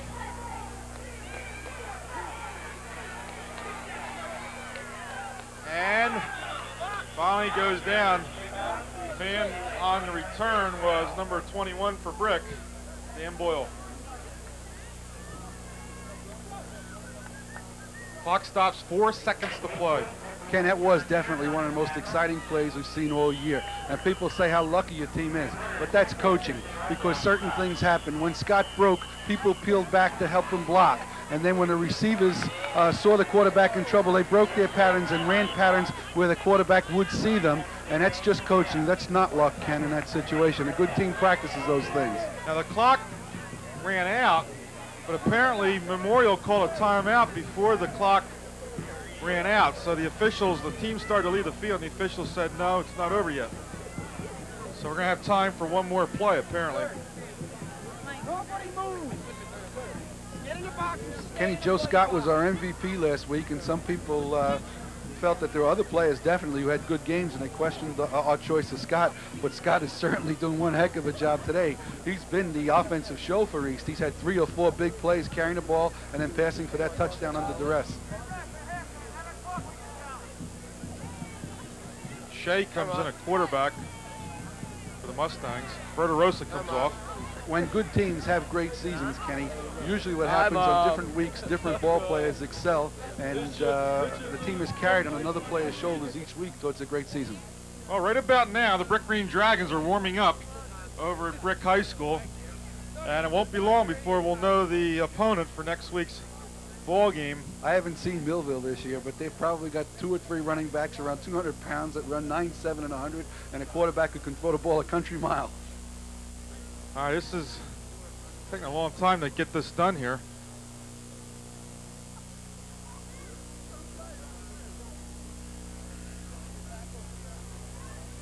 East drops back in into straight prevents defense. They're not about to give up that big play here with uh, just a couple of seconds on the clock. To start the second half, the sponsors for the upcoming third period, New Jersey National Bank, along with Gem Furniture, Service Star Hardware, and Carolina Furniture. The uh, Raiders are ready to kick off, going left to right. And if you joined us late, it's seven to nothing as Toms River East got on the scoreboard in the second period on a 16-yard pass and quite a scramble by quarterback Joe Scott and then through to Adam Glanzman completely across the field right to left with 11 seconds left in the period. And Bob, uh, as we said earlier, one of the uh, more exciting plays of the whole season as Scott really improvised on the touchdown play. And uh, evidence of good coaching was there as the receivers seeing Scott was under duress, uh, broke patterns where Scott could see them, and they were able to get open for the touchdowns. It was a very exciting play. And we're waiting for the signal here. Ken, while we're waiting for the signal, it might be interesting to note that Brick Memorial completed the season without giving up a first uh, a touchdown in the first quarter the entire season. End over end, short kick, middle of the field, and coming right up the middle on the return across the 30-yard line to about the 33. Gang tackling by the special teams of Toms River East, and Memorial goes on offense. I believe that was Boyle on a return, Ken. Danny Boyle, a split end, number 21, returned the kickoff. So the Ra Raiders go on defense to start the second half, and Brick Memorial under Donnie Reed uh, coming out here today really fired up to knock off the Raiders on their way to the state playoffs. Memorial was very, very, very tough on defense in the first half. Shea opens the second half at quarterback, number eight, dumps the pass off in a short pattern right down the Memorial sidelines and knocked out of bounds. Looks like a first down for Brick Memorial. Gaspich was the receiver on the play. Sherrill on a stop for the Raiders. Well, it shows you what Brick Memorial feels. They feel they're going to come right back and get right back in the game. They opened up throwing on a first down, and they've gotten to the middle of the field in a hurry. Ball's marked at the 45-yard line. First and 10 for the Mustangs. I formation. Ends are tight. Tailback, Tipinaro on the call, and he's going to pick up about four on the play. Infante on the tackle for the Raiders, the right inside linebacker, number 38. A little bit of a delayed handoff, almost like a draw, Ken. And uh, Tipinero got in there and gives him a second down and good field position. Just short of midfield at the 49-yard line of the Mustangs. If the Mustangs can come down the field and score here, we're going to have an exciting ball game. Shea hands off to Tipinaro. Once again, Tipinaro falls forward. I think he's got a first down. Making the tackle, Sherrill, the left cornerback. Ken, these Mustangs uh, feel that they shouldn't have given up that first down score. And they feel that look at the first half, even though it doesn't show on the scoreboard. And they're coming right out, fired up here. They want to get back on that scoreboard in a hurry and even things up. Officials are going to measure for the first down.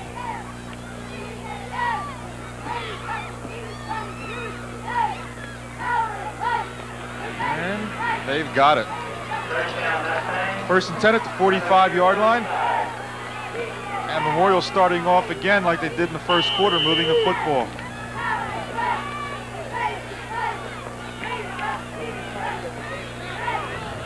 And they continue to alternate the quarterbacks as Duckworth is now calling the signals. Tippanaro again carries. And up the middle he goes, picking up three or four yards. On the bottom of the stack is McKelvey, the left end. Donnie Reed showing a lot of poise to come back and establish the game. Right at it, moving the ball very well.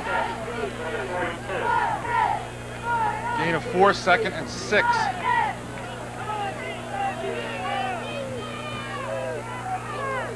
Duckworth runs the quarterback keep, and he has really hit hard at the line of scrimmage. And uh, McKelvey's made a couple big plays here on defense for River East. Third down coming up. Chris Schiavo in there on a stop also, and Bob, uh, Raiders get tough there when they have to. That's a big play right here because uh, they don't want to give up a first down and get into four down territory. If they hold them here, Brick will have to punt. Shea rolls out to the right, keeps the ball. He's got a blocker, but he can't get loose. He throws the football. The receiver's on the ground. Incomplete. They had a receiver open deep, but they just couldn't get set up and uh, deliver the ball.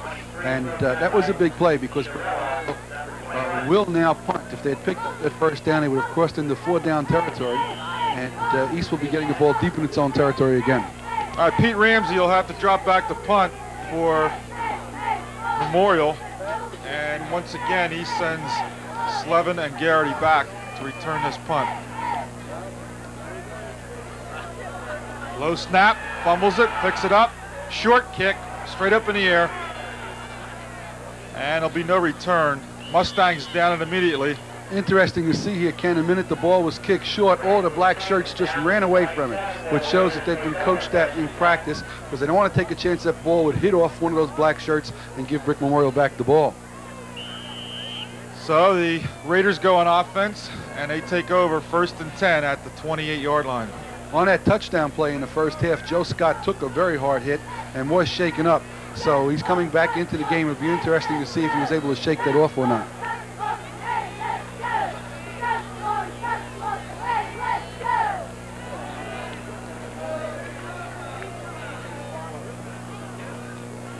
Scott hands off to Slevin. Slevin's got a hole. Slevin's got a first down. And he's across the 40 yard line. I would imagine at halftime, Coach Jeck had some words for his offensive unit. Slevin, as we told you, is that here's the replay, Bob. You're going to see the quickness of Pat Slevin getting to the line of scrimmage. Yeah, he's the fastest man on the East team. And you can see here it's just a straight handoff on a power play, and he breaks up in the air, and he breaks a tackle or two and picks up good yardage. First and 10. Wing left. And Gearity stacked up behind the line of scrimmage, falls forward, and maybe gets back to the line of scrimmage. Argandizia on the bottom of the tackle for Brick Memorial, the left end. Going to give him a one yard loss, second and 11 for the Raiders. Clock showing eight minutes left, third period. Raiders leading seven to nothing.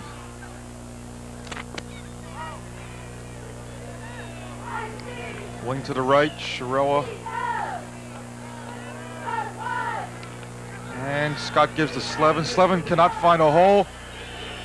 Four or five Mustangs up to make the stop. That Mustang defensive unit has been playing very, very tough all afternoon, Ken. They've managed to stack up play after play by East Raiders. Pete Ramsey led the defensive charge for the Mustangs. Jeck continues to alternate his tight ends with the plays and also his halfbacks. Slevin and Gearity alternating and Glanzman alternates with McKelvey at tight end. Slot to the right. Jump pass over the middle and he's got McKelvey, the tight end, coming from the left side. And there's a first down for the Raiders at the 45-yard line of Brick Memorial. Again, it was Joe Scott who made that play, Ken. He made an excellent fake on the handoff, and which enabled the linebacker to freeze, and the tight end was open, uh, was able to get open on that little pop pass. See the replay, Bob. Here you can see, watch the, the great fake to Schiavo, and then the uh, excellent pass over the middle. Chiarella flanks to the near side for the Raiders. They pitch and go to the left side with Slevin, and he's stacked up for a loss as number 66, Joe Marola, the tackle, was into the backfield to break up the play. Give me a loss of uh, three. Ken, I'm impressed with this Brick Memorial defense. Uh, there's been some plays that have picked up some yardage against them, but uh, they keep coming back and coming back and making a big play time after time, and they've contained East very effectively almost all afternoon.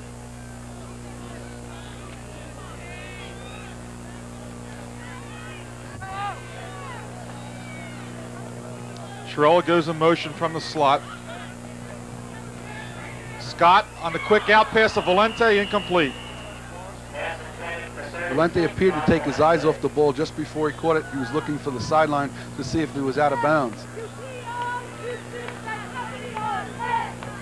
It's a big play here again. It's third and about 12 yards, and Scott's looking for Coach Jeck for the signal. That's one thing. It's easy to find George Jeck. He's the only one with a cowboy hat. The kids, uh, you have to love George. He's got a great personality. He's a very warm individual. Really cares about kids and makes the game fun. Third down play for East. Scott rolling to the right, getting a good block from Verderosa, and incomplete, intended for Chiarella at the 20-yard line. The coverage by Duckworth, number seven. So the Raiders are going to have to punt the football. 5.51 left, third quarter. Scott was under pressure that time, and Verderosa peeled back and blocked and uh, enabled him to get the ball off uh, a little bit better pass, and we might have seen a big score.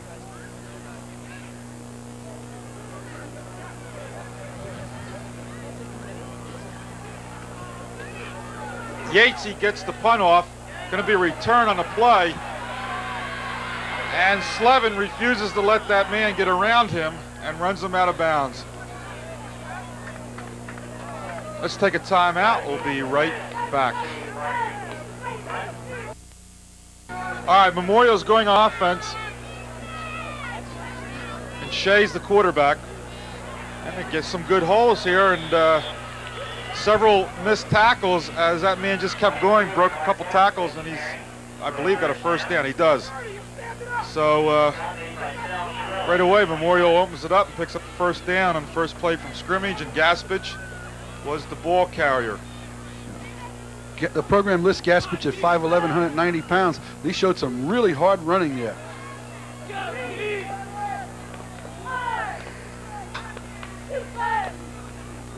Fullback falls, got yardage going backwards, Bob, as he was spun around there at the line of scrimmage by McKelvey. You know, East is, uh, appears to be a little bit asleep. They've got to come back. They can't afford to sit on that 7-0 lead. Uh, Brick Memorial has been moving the ball in spurts here, and if Brick Memorial gets a score, they're, they're, it's really going to be tough. All right, Schiavo calling the defensive signals for East. Second and seven. Timpanaro. He runs into about four black shirts there at the 40-yard line. Gonna bring up third down and about four. When you watch these two clubs, Ken, uh, you see Brick Memorial seems to have a lot more spirit. They're, they're, moving back and forth to the line of scrimmage quicker. They're setting. They're firing off the ball. And uh, East appears to be a little bit lethargic. Uh, I hope that they're still not looking to reserve their seats at Meadowlands yet. They've got to win this ball game.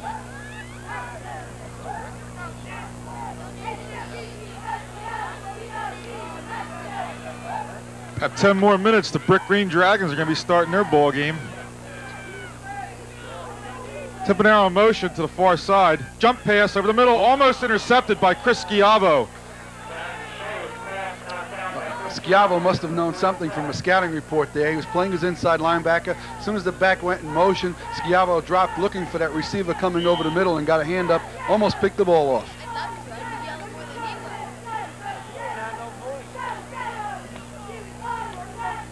Watching this East defense, it's almost like watching old pros.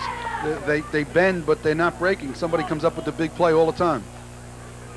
Ramsey from his 26 punts the ball away. Again, a short punt, no return on the play. East covers it at the 37. Three minutes, 48 seconds left, third period. I keep waiting for East to assert itself and put on one of its patented power uh, drives up the field using a lot of that clock, but they've been unable to do it all afternoon.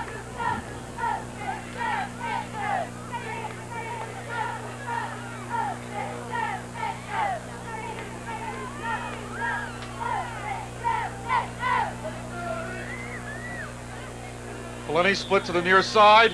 Whistle before the play could develop. Doesn't count. The legal procedure against the Raiders. Five yard penalty coming up.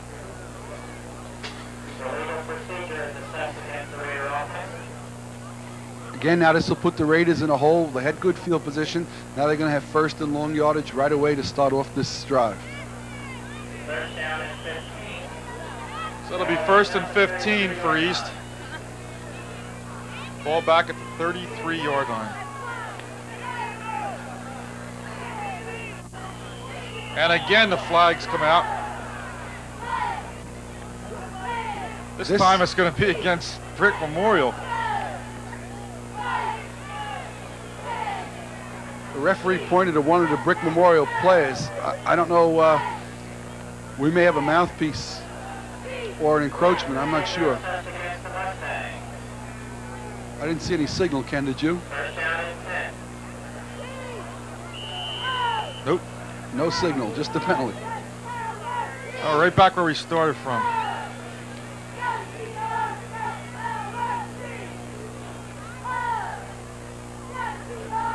Everybody in tight, wing in motion.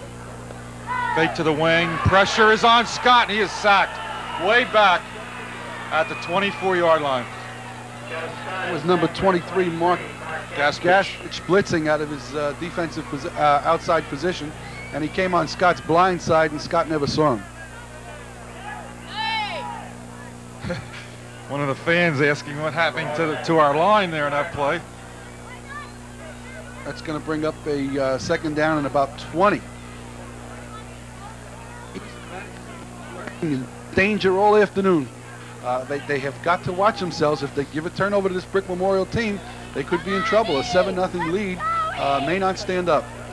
I tell you, since we saw them earlier in the year, they've really improved an awful lot this year, Brick Memorial.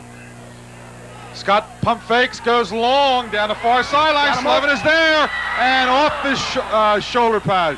Hit him right in the uh, chest, right above the numbers, and he just couldn't get a handle on it. He was kind of, the defensive man, I think, distracted him a little bit. No one can accuse, accuse George Jeck of playing a conservative game. Watch the replay. There you can see Scott drop back. This time he gets some time. He pump fakes. He's got the receiver way out there, and I, I think the Brick Memorial defender just got his hand on the ball as it came in. So, East trying to strike for the whole ball wax on the long pass and uh, just missed as Slevin got behind the defender. 2.05, clock stopped on the incompletion, third period. Scott again to throw, gets time, he gets it to Chiarella, just short of the first down. No, no, Ken, that's Very the, uh, close here, where are they mark it. That's the initial marker. It's still going to bring up Oh, a fourth and look at the 10. wrong marker. They, they had long yardage. So it's going to bring up a kicking situation, and they're going to have to give up the football once again. Here's, watch the replay. Right, you can see he delivers the ball nicely over the middle, and it's a nice catch by Chiarella, but uh, it's not enough for the first down. Punt's going to come from the 25. High snap, but Yatesy has it. And Memorial decides to let it roll. Chevrier gets down here to cover on the football. Goes out of bounds.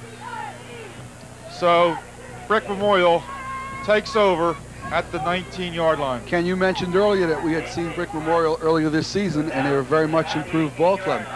There's several ways to, to build a program, and uh, one way, naturally, if you get great kids, you become good right away.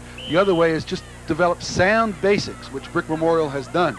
They don't make those uh, mistakes that uh, losing teams do. They, they're a solid blocking team, a solid tackling team.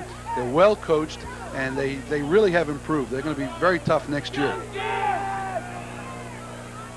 Next year, Brick Memorial goes into the A division. And they'll replace Central Regional, who will drop down into B Division South. McKelvey in on a stop for the Raiders, a gain of a yard, second and nine for the Mustangs.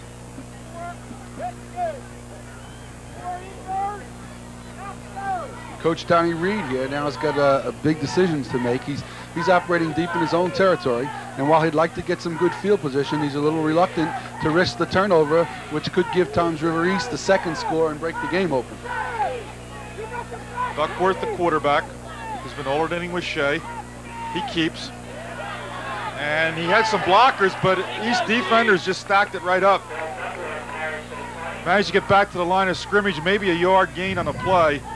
And Infante made the stop, number 38. Also up there was Yatesy from the right side of the uh, Raider defense. Injury on a play. Schiavo also came up to help, and you could see the East defense that time just, just swarm all over the ball carrier.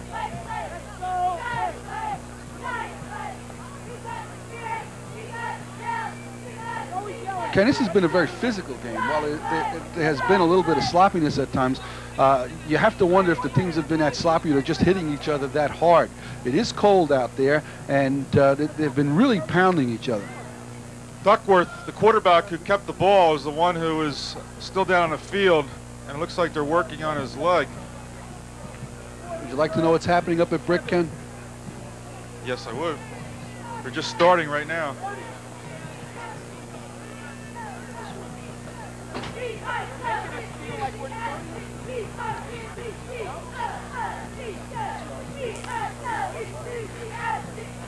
Going to have a long delay here. 29 seconds on the scoreboard left in this quarter. And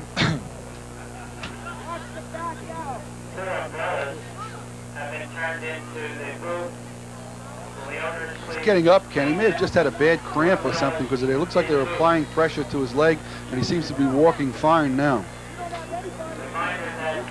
Of course, when everybody watches this broadcast, they're going to know who who won that football game and know. Of course, they won't know until probably Monday when they'll announce in the papers as to where we will be going next week for that South Jersey Group 4 championship game. I have an idea the coaches will know by the time this game airs. They'll know where they're going. I know where we'd like to go.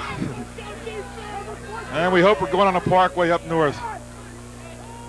Tip and arrow. And there's Chevrier, who we talked about earlier in the broadcast, who makes those great open field tackles. And that's going to run out the third quarter. Chevrier has got to be one of the best open field tacklers I've ever seen. He comes up with no hesitance, and he sticks that shoulder solidly into the ball carrier. He makes those knifing kind of sharp, crisp tackles. That's the end of the third quarter with a score. Toms of East 7, Brick Memorial nothing. The third quarter came your way today by the New Jersey National Bank, along with Carolina Furniture, Service Star Hardware, and Gem Furniture. We'll be right back.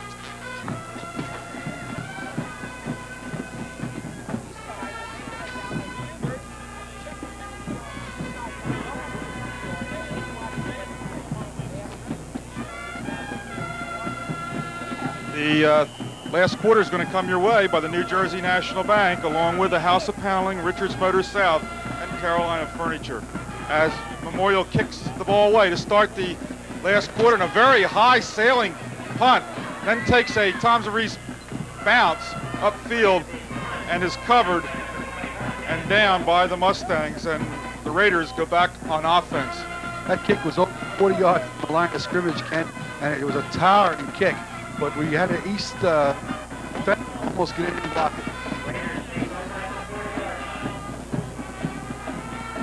So we're into the last quarter here, and we've had a defensive ball game.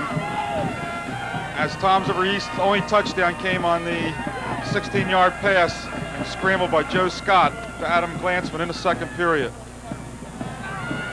And there goes Slevin, picking up about five yards for East on the first play from scrimmage.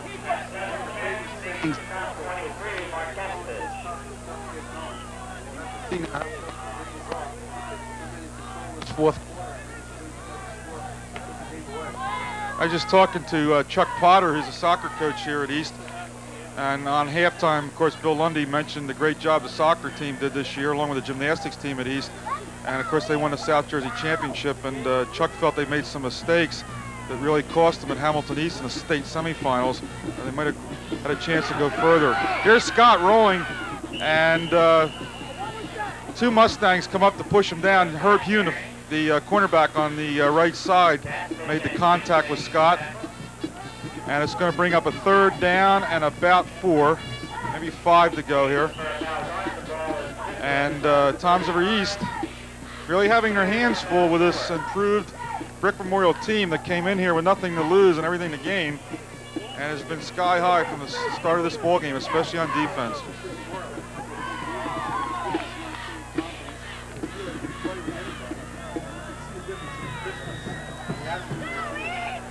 Third down play for Scott. He sends Sherrill in motion.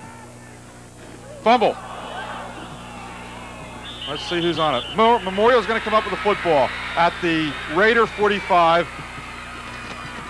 And the man who got it was the monster back, Jeff Munster. Some hitting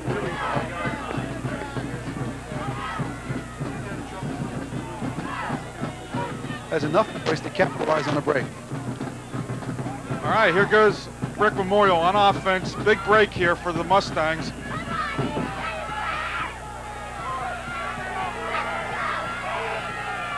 And the Raider fans are starting to holler defense. Shea, the quarterback, throwing and almost completed. He threw into a crowd. Chiarella was there to help break it up along with Scott. Also, uh, Yatesy back there. Now here they're talking to East, and I think we're going to have a penalty coming up against uh, the Mustangs as they talk to the defensive captain, Schultz.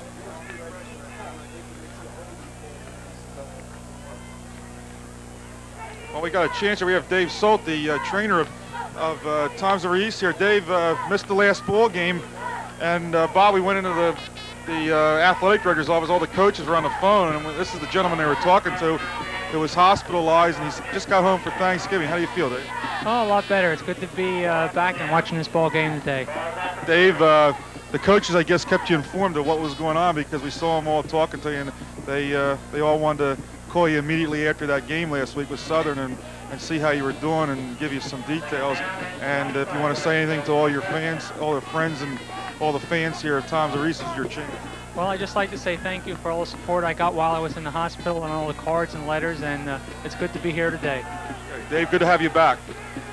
And this is the Memorial Mustangs draw play, which is not fooling East one bit. The tackle was made by McKelvey, and uh, Schultz was in there on the fullback, and they stack it up.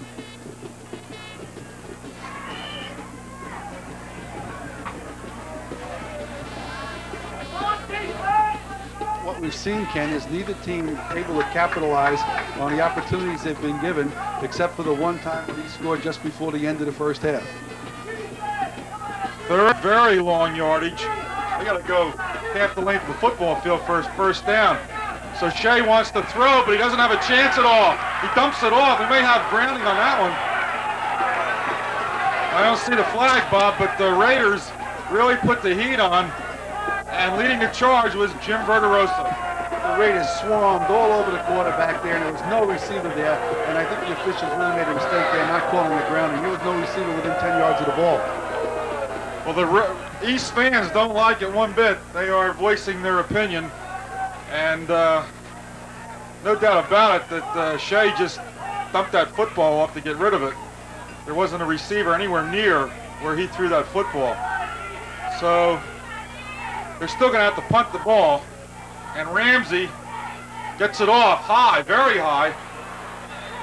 Gearity going backwards, fumbles the ball, picks it up, and is just tackled immediately. Good coverage by Dan Boyle. That's going to push East back. Nice punt by Ramsey. That punt covered almost 50 yards. Ramsey does all the things you tell a kicker to do wrong. He lets the ball go up high, he stands up straight, but he's got such a high leg, he just a uh, powerful leg, he just drills the ball. So the East Raiders have a long way to go here as they go on offense, leading seven nothing. The clock continuing to run here, eight minutes and 30 seconds left in this football game. This is a rough assignment for East to come into this game in between playoff games. Stacked up in the backfield. Look at the fired up Memorial defenses. They hit Slevin, and they are so sky high. It's unbelievable.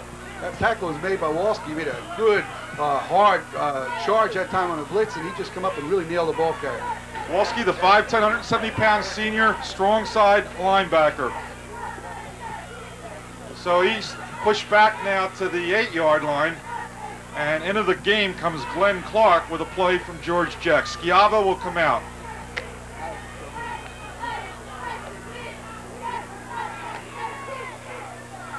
Raiders huddling in their end zone. Schultz leads them up. Blenny splits to the near side. Wink to the right. Chiarella goes in motion. And here comes the pressure. Scott avoids it nicely. Hits Valente and he steps out of bounds. Nice play by Scott. It was excellent play. Joe Scott has been the uh, sole offensive star this afternoon uh, for the Raiders, and the ball comes out there where they have a shot at the first down now. All the Raiders standing along the sideline. Brick Memorial standing across the way. In comes Schiavo.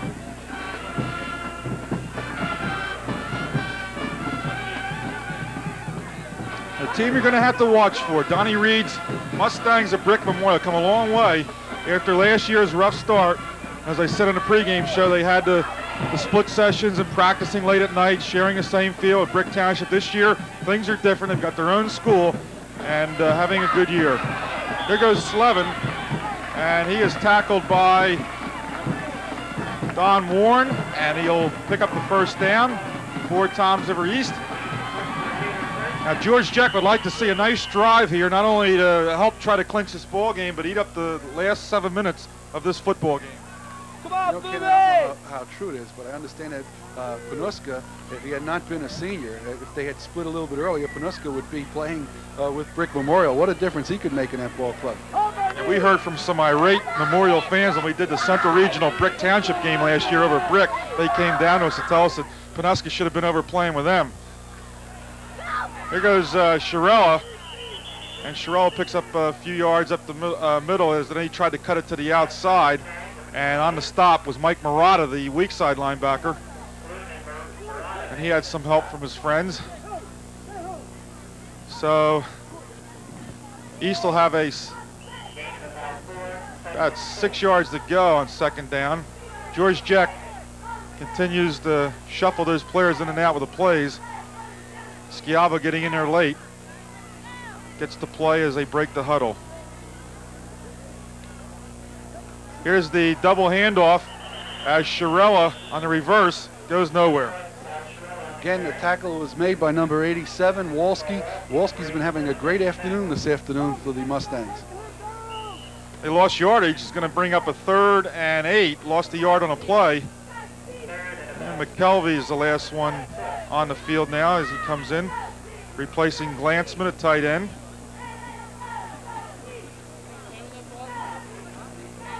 Jack Bush pacing the sidelines down there, not too happy with what's going on.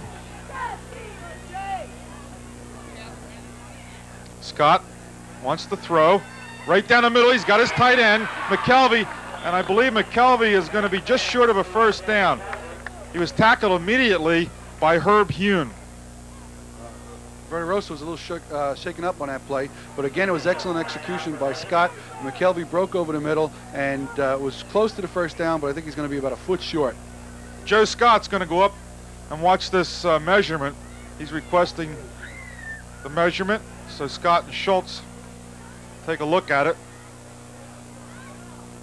You may have it. Just, oh wow, about an inch short. Scott signaling the Coach Jeck the distance needed.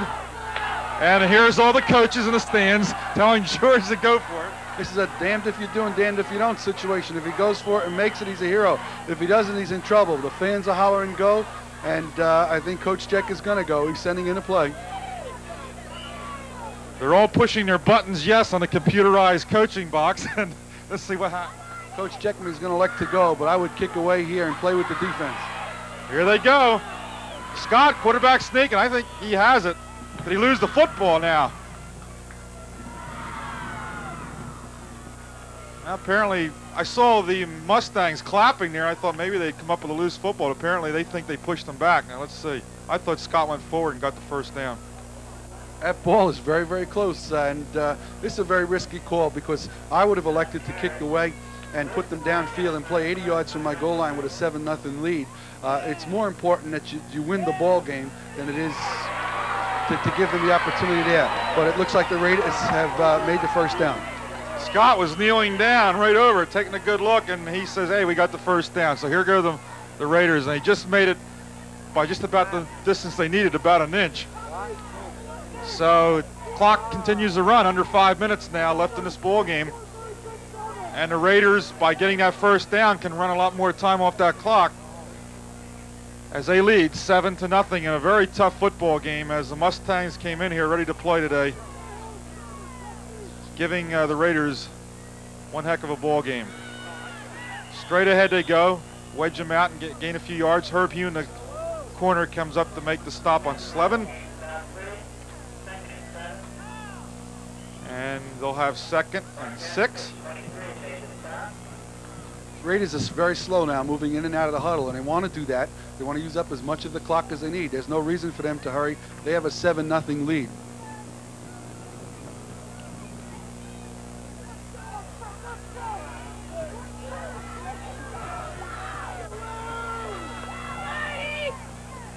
Scott rolling to the near side. He's hit as he throws a wobbly pass to Glanzman, deflected into his hands. I think he's no. Finally saw the ball pop out. I almost thought he made a great catch. Again, Scott was under good pressure, but he got the ball off. Glanzman was out there. The ball was batted back and forth to the defensive back and Glanzman. And when they hit the ground, the ball popped loose. Here's a replay, Bob. All right, here you can watch the replay. Scott comes out, doesn't see the defender coming from the blind side. The ball is somewhat wobbly. If he didn't get hit, the ball would have had enough on it and it would have been completed and could have been a touchdown. Ray Rossi, the free safety, number 88, deflected that football right towards Glanzman. He almost made the reception. So again, brings up the third and sixth to go, possibly seven, and again that clock is stopped on that incompletion with three minutes and 50 seconds left in this football game. Slevin goes in motion to the far side. Scott pop pass over the middle, intended for McKelvey, incomplete. All right, there was motion that time to try and make the defense move. McKelvey was open over the middle, but the ball was thrown a little bit low. The only score in the game so far, Ken, came with 11 seconds to go in the second quarter on a 16-yard. A nice punt from uh, Yatesy. And he sends it down. Nobody back for uh, Brick Memorial. And he sends, I guess they didn't want to believe it, and uh, he sends it down to the 27-yard line. Yeah, Brick Memorial, whether they Four to go in the ball game.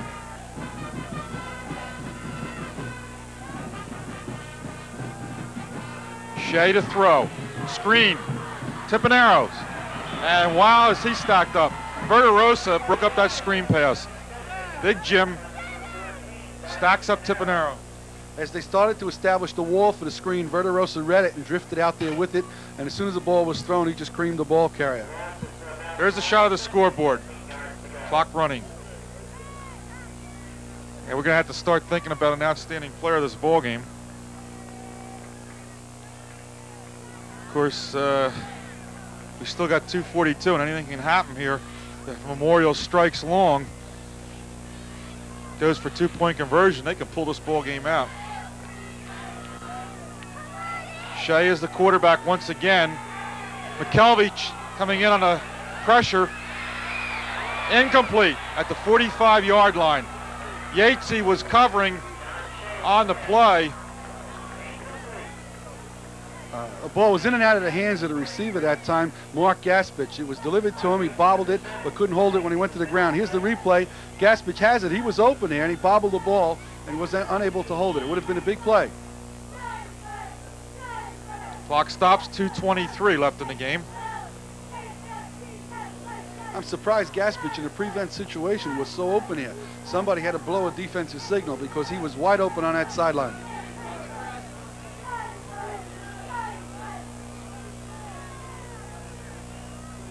Draw, uh, draw to the tailback, tip and arrow.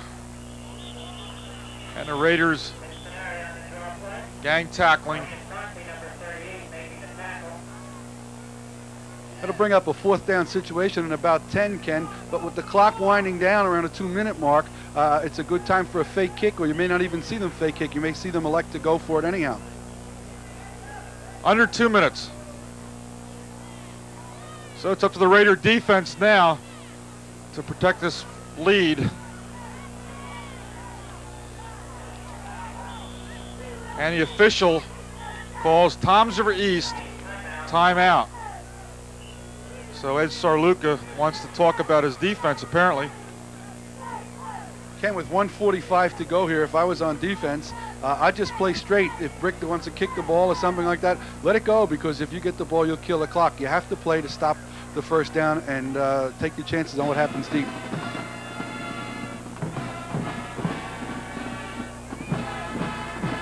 East Band starts to play here during a timeout. There's two ways to play in this situation on a fourth and 11. You know they're going to go for it. Uh, either you blitz and you try and get the quarterback before he gets it off, or you keep everybody back and play for the interception so that they don't get the, or, or keep them from getting the big play so they don't get the first down. Looking across the way, it's easy to see where all the Brick fans are today, Bob. They're all over at uh, Brick and uh, Millville, which I guess is understandable. It's a shame, too, because the Mustangs have a good ball club. They've played an excellent game here today, and had it not been for the one big play, this would be a nothing-nothing tie going into the last two minutes of play. The uh, Brick Memorial kids deserve more support than this. And Donnie Reed's got to be very happy if his club can play with a, a team like Toms River East. He's got to be uh, very pleased with the way uh, the season has developed for uh, Memorial in their second year of football. Slot to the right, I formation. Shea dropping deep. And here's Slevin putting the heat on. Shea running for his life. And he is really decked. Loose football. Verderosa has it. And Seigler is the man who caused the fumble. Great job by Chris Seigler. Sig, uh, quarterback avoided a rush. There was a blitz on. We said earlier that there were two ways to play it. Coach Jeck never being conservative, went with the aggressive way to make things happen. Seigler jarred the ball loose on a hit, and it'll be East ball down close to the goal line.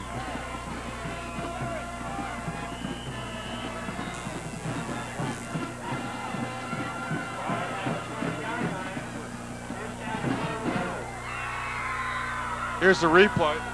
Here you can see the great shot by Seigler, A ball just pops loose, and Verderosa falls on it, and uh, he tries to advance it, but you can't do that in high school football. And let's see what East can do here if they can capitalize on a break.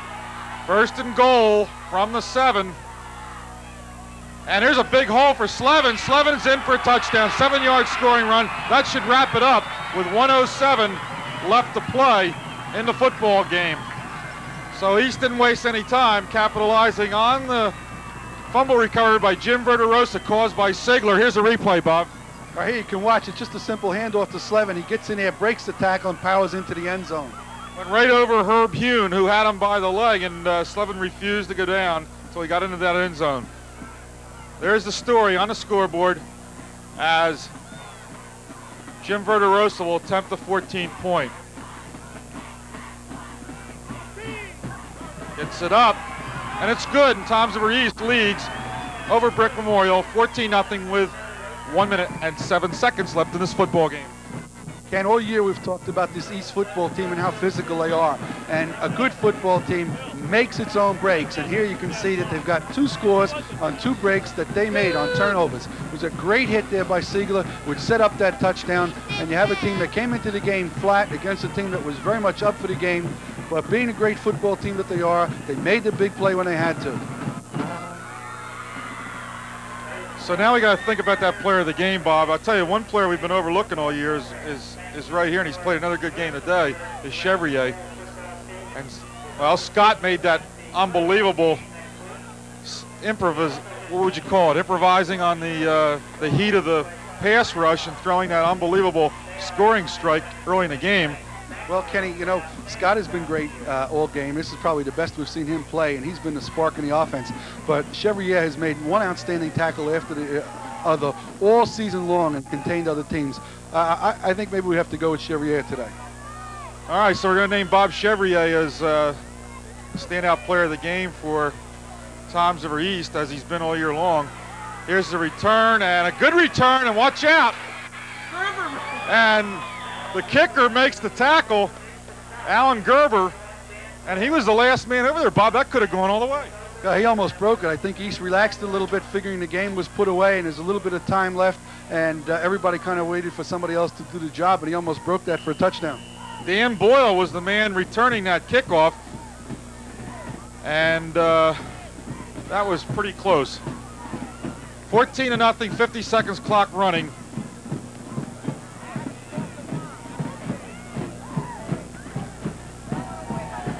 Here's Shea going down this far sideline. Gearity was over there, sailed over his head, over both the receiver and Gearity. Incomplete. East is in a prevent version of their own defense. They've backed their three defensive backs to 12 to 15 yards off the ball, and Gearity almost picked that off.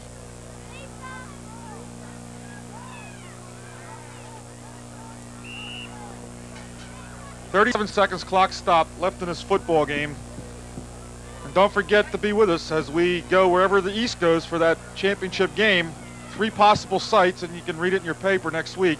We'll either be at Brick Township High School, Giant Stadium, or right here, if it should be Millville in the final. Here's an incompleted pass. 34 seconds. Bob Chevrier, our player of the game, and we kind of overlooked him earlier in the season, but he's been brilliant, and the coaches are very high on him. Just makes tremendous uh, open field tackles. Chevrier is one of the best open field tacklers Ken I've ever seen, and uh, he's impressed me tremendously. Not only does he make the tackle, but the tackle is always crisp and clean with perfect form, and it's always on a big play. That East defense has been really unbelievable all year long, as Southern Regional will tell you, and they're as of right now, have another shutout in the works. You can hear the fans screaming that they want to get Wolf and Brick next week, and I think that was the story here today. The team was a little bit flat, but their defense has kept them alive all season long, and their defense today did the job for them as they were able to shut out Brick Memorial at least up until this point. Of course, a lot of people wanted to get Warren Wolf. It doesn't always work out that way too often. It, you come out on top of Warren Wolf, but it should be a great matchup if the Brick does win today when you're king of the hill, everybody wants to knock you off. We saw a great game over Brick. East only lost this year early in the season, but East has come a long way since that football game, although I'm sure Brick has improved also, but I think East has made the greater strides. Brick was already a super football team when they started the season, and uh, East has just been getting better and better and better. Third down play. Here goes Shea putting it up for grabs, trying to hit Boyle, incomplete. And Shea is on the ground. Slevin got to the quarterback. Brick Memorial lined up every eligible receiver, plus a few more, sent five people flying down the field on one side of the field. I think there's a flag. I think there were too many people on the line of scrimmage. We have 29 seconds left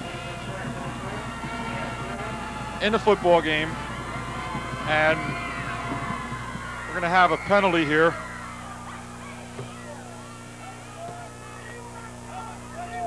They're still yelling, we want Wolf down here. Are you lost? If you want Warren Wolf, you can't holler about it. You got to kind of sneak in and catch him by surprise. Don't give him too much of a warning to get ready for you. The Silver Fox will be ready. Where did Wolf get the name the Silver Fox? It's very apropos. Where did he get it from, Ken? I don't know. I have no idea. I just know it's been around for a long time. Of course, he's always had the, the silver hair since I can remember. And uh, somebody gave him that name. Might have been Signorino. I don't know, but uh, Ronnie certainly would have enough reason to give it to him. They locked the horns in enough of battles together. Well, we have another timeout here.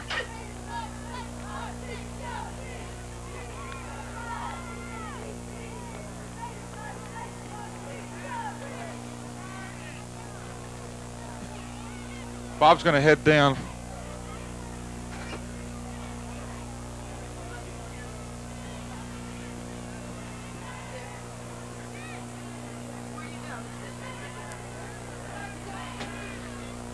Now we're finally ready to resume play.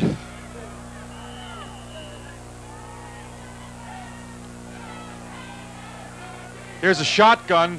Shea to Boyle. Boyle's got some blockers.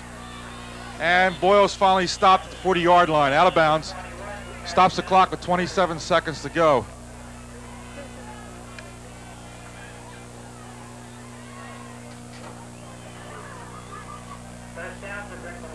First down for the Mustangs.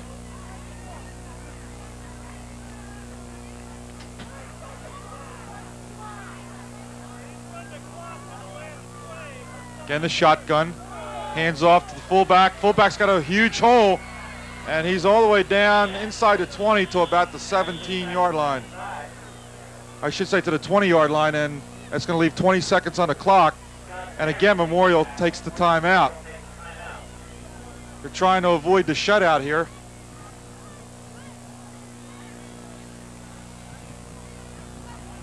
Gaspich was the ball carrier.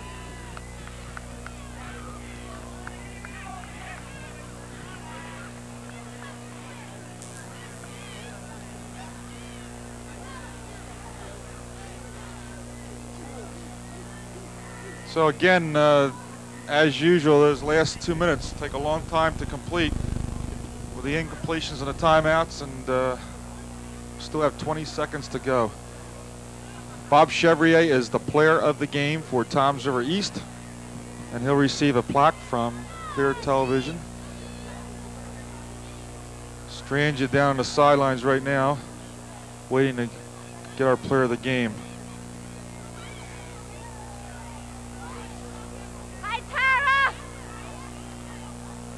The official says, let's go.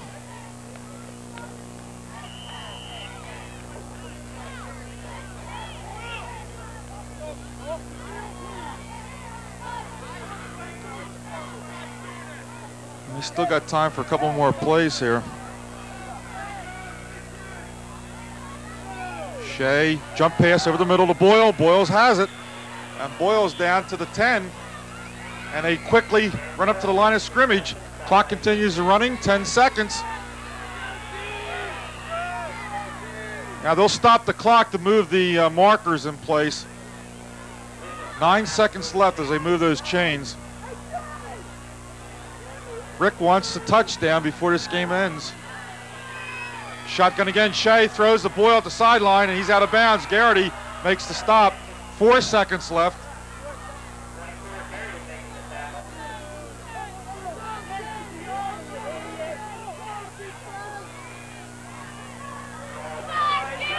On the 10. He only got about a yard on Hello. the uh, completion. The main thing they were trying to do was stop that clock. Now they have a chance to talk it over, and here they go with a possibly the last play of the ball game. Slot right. Here's Shea. McKelvey in there, and he gets it off with McKelvey hitting him. Complete the Boyle, and that should do it. Toms East gets the shutout. The final score, the Toms River East Raiders 14, the Brick Memorial Mustangs nothing. Toms River East now 9 and 1 in a year. Brick Memorial finishes 4 and 5, but a very good season as Donnie Reed's team comes a long way. The last quarter came your way by the New Jersey National Bank, along with the House of Paneling, Richards Motors South, and Carolina Furniture.